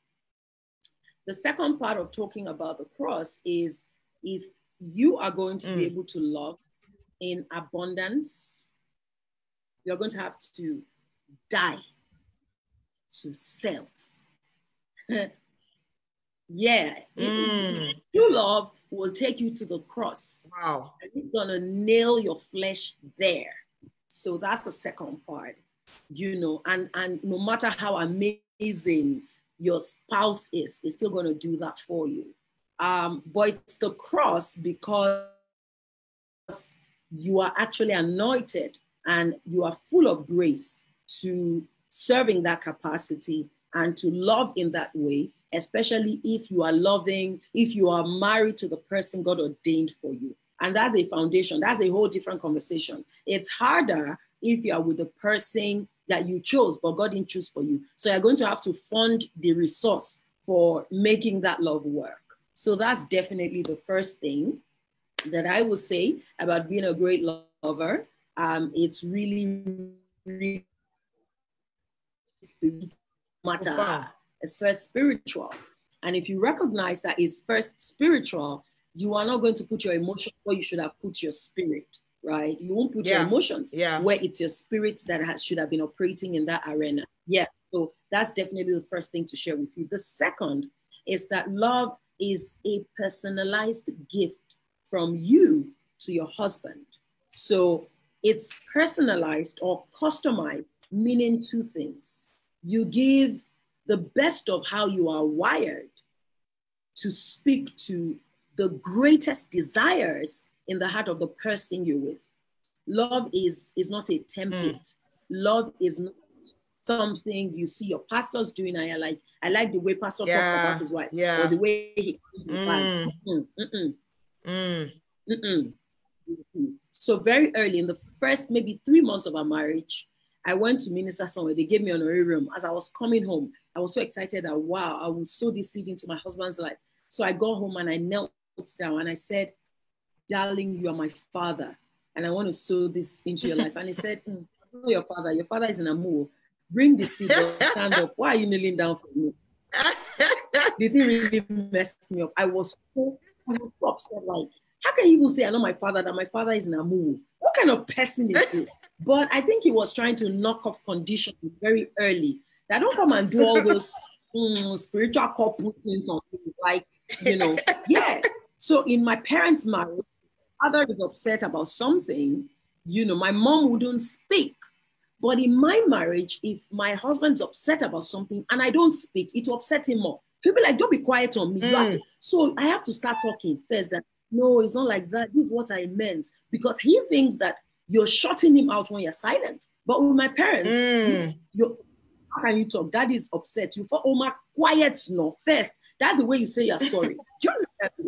so love, love is a personalized gift. It's a personalized mm, gift. Not a template. I love that. You look to who you are, what God has given to you, especially if you really believe that your God chose your spouse for you, that it makes it better. Yeah. Me, I know yeah. that God chose my spouse because he, he went ahead to even tell me many years after that, Debola, Deji cannot have a better wife than you. So mm. if you hmm. allow me to work on you, you are the best deal I have found for him. Everything is looking mm. for hmm. is with you. Let me now bring mm. it hmm. out. Let me bring it out. Stop all this forming yeah. and stop all this hardness. Be tender in my hand so I can flow through you and satisfy mm. his deepest spoken desires. So love, mm. is a personalized gift. It's a personalized gift. And what that means is you you let God serve the best of you to meet the deepest needs in your spouse. Mm. Meaning that to Mm. love them excellently, you have to study them intently. To love them excellently, you have to study them intently. Omar can be Mm. And that's still the whole mystery around amazing sexual sexual experiences. Do you understand? I know, I know what to do to take my husband from one to zero in 10 minutes. I know it. I'm bad Hmm. like that. Bam. No kidding. I know what Baddest. to do. if I want to bring it down, if I want to make the tempo chilled. I know if I want to make it fire, that everywhere will be burning. Yeah, I know. Ah. Because I studied it. I studied it. I did what I was my work in this my life if I can't study that? I do. Because I don't understand though personally, maybe because me, oh, I really want to enjoy marriage. Mo fẹ́ ja- wo, I want that. What? Every encounter must be must be a memory. You know? So I'm sorry. I'm sorry about the Praise God. I'm going to focus now. I want to keep it spiritual for the single people. But here's the deal if you don't study your partner intently, you're going to be, in fact, let me tell you, if you're not studying your partner to love your partner, you are loving your partner with a template. Both of you are just managing yourselves. And Yeah. they deserve from you. Yeah. Many of things they're looking for outside is inside your Sokoto, but you're going to Sokoto for it. Yeah. They're working hard on many things. Yeah. around. You know, so for example, let me tell you, when I enter into the space that my husband is, his eyes they lit up. They lit up, and I'll be teasing him like, ah, ah, you are so addicted to the Debola. What? See the way I'm behaving. Because his biggest love language is just give me attention. Don't buy me any gift. Mm. Just be there. We will just to 2:30 a.m. I'll be dozing off. I'll be almost begging that stop this thing now. I want to go and say, say, Jen, sorry, Jen, sorry, so why believe it? babe? People think it's gentle, but he will be gisting, gisting. Although he said he won't enter some places I said that he will gist me rich. But it's really knowing that that's that's that's what is the heart cry. There's a signature in the soul of Mm. your man. That's That's right. That's Women right. Get it. That's right. I will get it. Will now be loving the Yeah. guy like you want to love him specifically. Yeah. And that's going to be enough. Yeah. You see, Yeah. and then Yeah. Yeah. final thing I want to share with you is you need to also practice singleness. You know, many people, when they're single, were never single. So they were in singlehood, but they were never in singleness. Meaning that even That's though they were, um, even though they were not in, they were not married by marital status, they were always emotionally encumbered. All this Yeah, yeah. behavior, always looking for other Entanglement. Yes. entanglement. Always looking for other people to Mhm. validate. So ma- many women Yeah. married still with that desire to just always be entangled and to just be encumbered because they don't know how to be by them. Mm. I tell you what, I'm going to use this Wow. here, and I hope that you get it because you know that I love Jesus. There's something exotically sexy about a woman who loves herself enough to sometimes just be like, I don't even know how to describe the thing.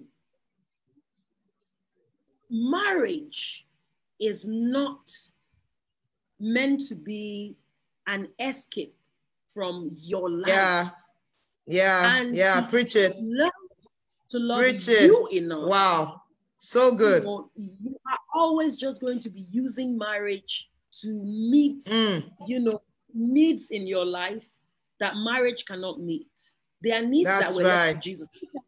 The reason you're unable to love well is because the things that are for Jesus, you're trying for your husband to do them. And no matter how hard he tries, he's going to do a poor job of it. And it's going to weaken your response to him. Let me tell you this thing. That's right. the way I understand it that Jesus is teaching me. Because I am putting focus where focus is due. And I am asking my husband to show up for me emotionally in the places where he has capacity to. He's able to be a first class husband. Because what I'm asking of him are things that he is anointed to do. Even though, if in the beginning, it's comfort zone. Do you understand? He's anointed to meet my emotional needs, but he's not anointed to fix my broken places. So, marriage, like CAD Sync Consult is saying to us, I think this is a good tweetable moment. Marriage won't solve your inadequacies. You need to practice the principle of singleness, loving you, growing your sense of identity, yeah. enjoying yeah. being by yourself, yeah. and having a yeah. beautiful personal where, yeah, you can take yourself yes. out and be okay with it. Yes. And you're not always living in for yes. want to do everything and be everything yes. because it can't. Right. So if you take yes. those things yes. out of the way, they would heal you of the things that mm. are holding you back. Mm. Mm. Wow. Wow. So profound, Debola, so profound. As in, so, so, so, so, so profound. I am an advocate for singleness, even in marriage, because in marriage. we are just too, we are too choked up. We are too choked yes. up. Koriko sun, koriko yes.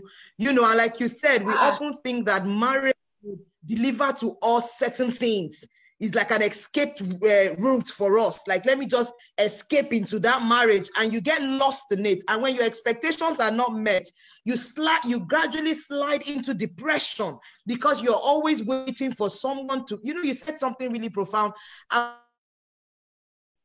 About there's something about someone just loving herself, self-love. I mean, you look at the mirror and you're like, ah, ah, Omo Dubai. Like you celebrate yourself. You're so excited about who you are.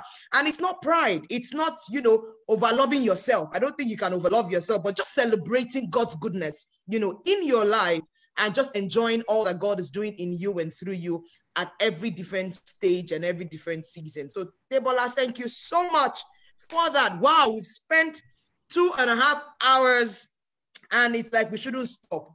But of course uh, we know that uh, data is running for some people so we would have to you know make it a wrap. But if there's something i'm going to say to summarize ddk with all that we've heard today is that ddk is unashamedly a lover of god. And that is what has produced everything that we see that she's doing, that she's talking about. She's unashamedly a lover of God, unashamedly in love with Jesus. I love how you talk about prayer.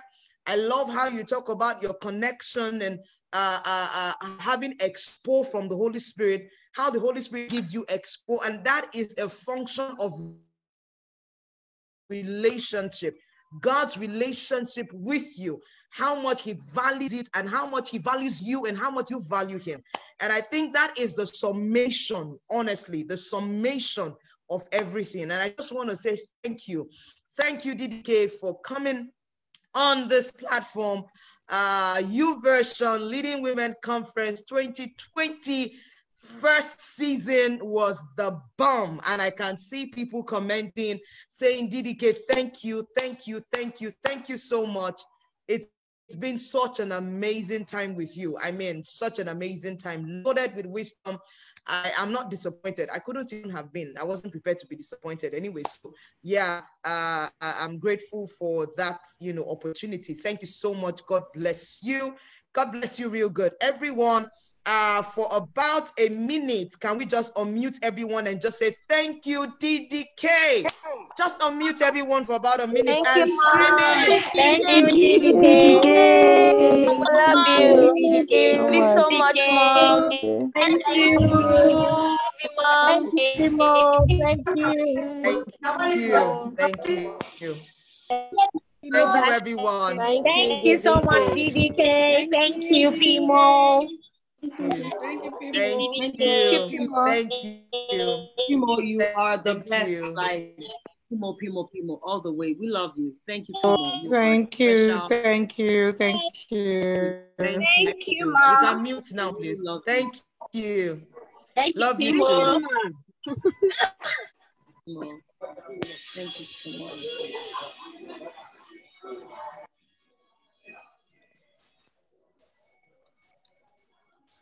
All right. So yeah, I'm back. So thank you, DDK, and uh, God bless you. I think I can release you at this point. Thank you so much. I will slide into your DM. I'll give you a call right after now. Thank you so much. Love you so much. God bless you. Thank you so much. All right. Uh, it's been such an amazing uh, meeting. If this is your first time tuning in to Leading Women Conference, I mean, you are blessed.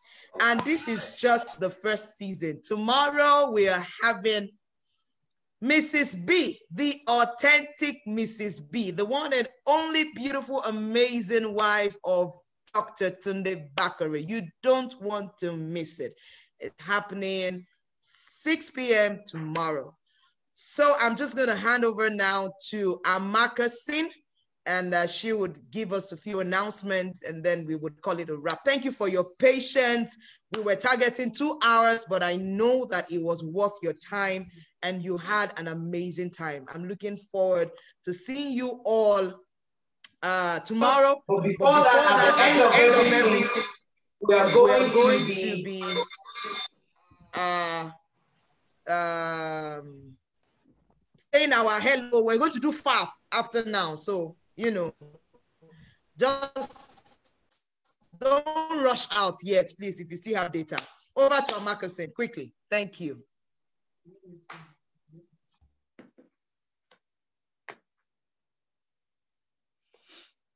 Hello, hello everyone. Good evening. Today has been so amazing. Gosh, DDK is such a wise woman. I can't even, my, my note is full. Anyway, because of time, let me just rush in. So this is the Leading Women Conference. What we do basically, one organization that is aimed at nurturing leading women into the exact sphere of influence that God has called them to. We the goal is to basically just impact women in ministry into being full definitions of what of the of the calling of God upon their lives.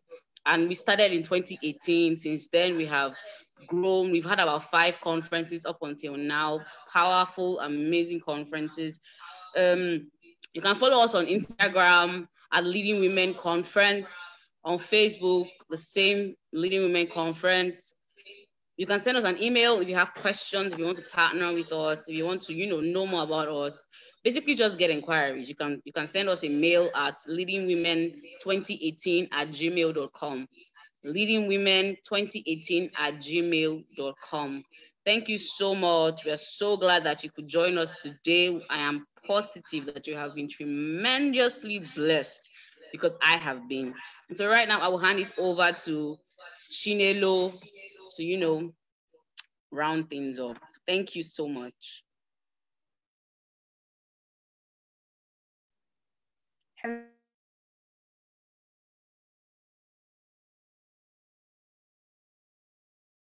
So so just like um, Amaka said, um, there's going to be a program tomorrow.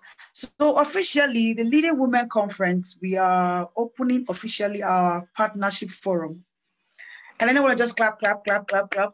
So actually what it entails is that like um, you partner with our ministry and as you want to partner, you're lending your service and resources to impart the kingdom and your generous seed sown will yield manifest returns of transformed lives and women set on course and on fire for God and the kingdom. Also, as you can expect, your partnership can also bring exclusive benefits to you. So we have different um, three tiers of partnership, um, the covenant, the impart, and the connect. And each of them will come with different monthly pledges as well as benefits. So I'm going to be posting a link in the chat group now if you want to become um, a partner of um, Leading Women Conference, please feel free to fill the form. I just sent to the chat group now. And also we encourage you to consider this because you know a lot, of, a lot is going to be happening. From next year, we'll be having quarterly program, so which means our programs are going to be four times in a year. So feel free to partner with us and um, um, fill up the link and so that we'll take the process from there. We'll get back to you in respect to that. Thank you so much. and we look forward to hearing from you soon. Thank you so much. Thank you. Thank you.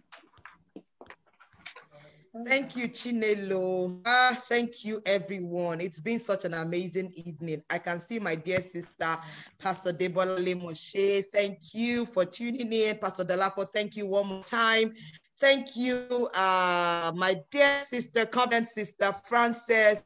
I can see a whole lot of people. Toby Owoyele, thank you, Efe. Thank you, thank you. Oh, Mrs. B still online. Thank you, Mama, for staying through. We're looking forward to tomorrow. It's going to be awesome midday. Thank you, Molu midday, Olushola. I mean, Olusheye. I'm just blessed. I'm surrounded. I'm, I'm, I'm, I'm blessed. I'm surrounded with a lot of people. Auntie Lanley is online. Thank you. Wow for such great support. Thank you, Tosi. Thank you, Nene. Thank you, Sister Fumi, Ashaolu. Thank you so much, Mary Jane. I mean, I wish I could call everybody's name. Debbie, Oluwatosi, Adebola Mudi, everyone, Karen, everyone who came supporting DDK, everyone who came just to be a part of this. I love you all. Everyone, Ifeoluwa, thank you. Our amazing moderator. Thank you, Mojisola Ojofeyi. Wow, Zainab, so many names. Thank you, thank you, thank you, thank you, thank you, guys. I love you all. I celebrate you. Leading Women Conference, we go higher. It's from glory to glory, from grace to grace. And of course, I'm going to thank my husband for his support and his love. and, you know, for just uh, pushing us and encouraging us and doing thumbs up behind the scene and say, go, go, go, go, go you know, so it's amazing. Thank you guys. I think we can unmute at this point and just say our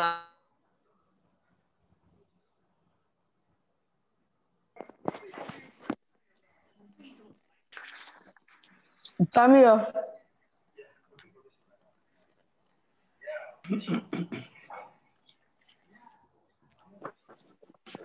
Thank you, Primo. Thank you, Primo. Thank you, Pimo. Thank you so much. Glad to be a part of this. Yes. Tamio. Thank you, Pimo. Thank you, Pimo. Thank you, thank you, thank you, thank you. Thank you, Primo. Thank you, Pimo. Pimo Steph. Thank you, Primo.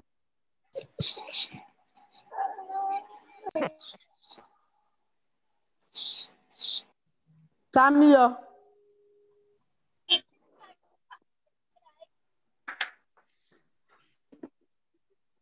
Thank you, What are you Primo. The session has really been enlightening. Thanks very much for putting this together. know I really finish. What are you guys doing?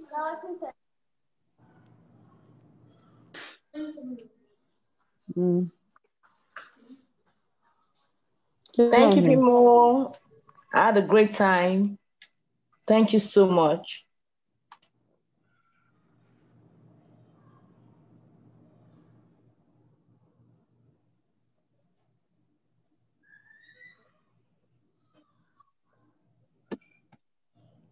Okay, back. Can you?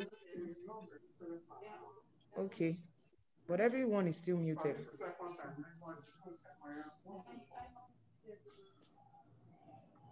Thank you, Primo. I'm so grateful for this privilege. Thank you. Thank you, everyone. What's happening? Thank you, Pimo. We can hear you actually. Okay. Mode Salah, thank you. I can see you. I can see your picture. Pastor Martha, thank you. Yemi Ajewole, thank you. Ah, Dola, thank you. Feyi Ehireme, thank you. Oluwatosin Oke, thank you. Ewa Oluwa, thank you. Thank you. Tolulope Jasmine. Ah, Modela, thank you. Thank you. Thank you. Ma Olumide, thank you. Great. Yes, ma'am. Thank you. Thank you. Ayomide Roots, thank you. Thank you, guys. Thank you, everyone. Ah, Olayoton, thank you. Thank you. Abisala Oguntunde, thank you. Thank you. Thank you, thank you. Yes, I can see my friend Frances. Thank you. Oh yeah, you guys Have put on your camera around now. Thanks, Pimo. I had an awesome time. Awesome, awesome. Thank you. Oh, Thank you, thank you, thank you, thank you. Oluchola, thank you. in the house. Yes, so thank you, Debbie. Thank you. Thank you, guys. Thank you, guys. Thank you. I love you all. I see you all tomorrow. Thank you, All right. PM. Love you too. Thank you, Thank Pimo. you. Good Love you. Have a beautiful night rest. Good You night. too, Rest well. For those still in the afternoon, enjoy your day Thank and you, rest well in the night. Thank you, everyone. God bless you. See you all tomorrow. Mo, Mo, I can see you. Internet connection is unstable. Blowing you kisses. Thank you, Pimo. Thank you. Thank you, everyone. Thanks to my leading women conference team. Oh, wow. Thank you, thank you, thank you. Well, I'll save it to tomorrow, tomorrow, tomorrow, tomorrow. Thank you, thank you, guys. Thank you, everyone. Love you all. God bless you. Yeah, I guess we can. Bye. Peace out.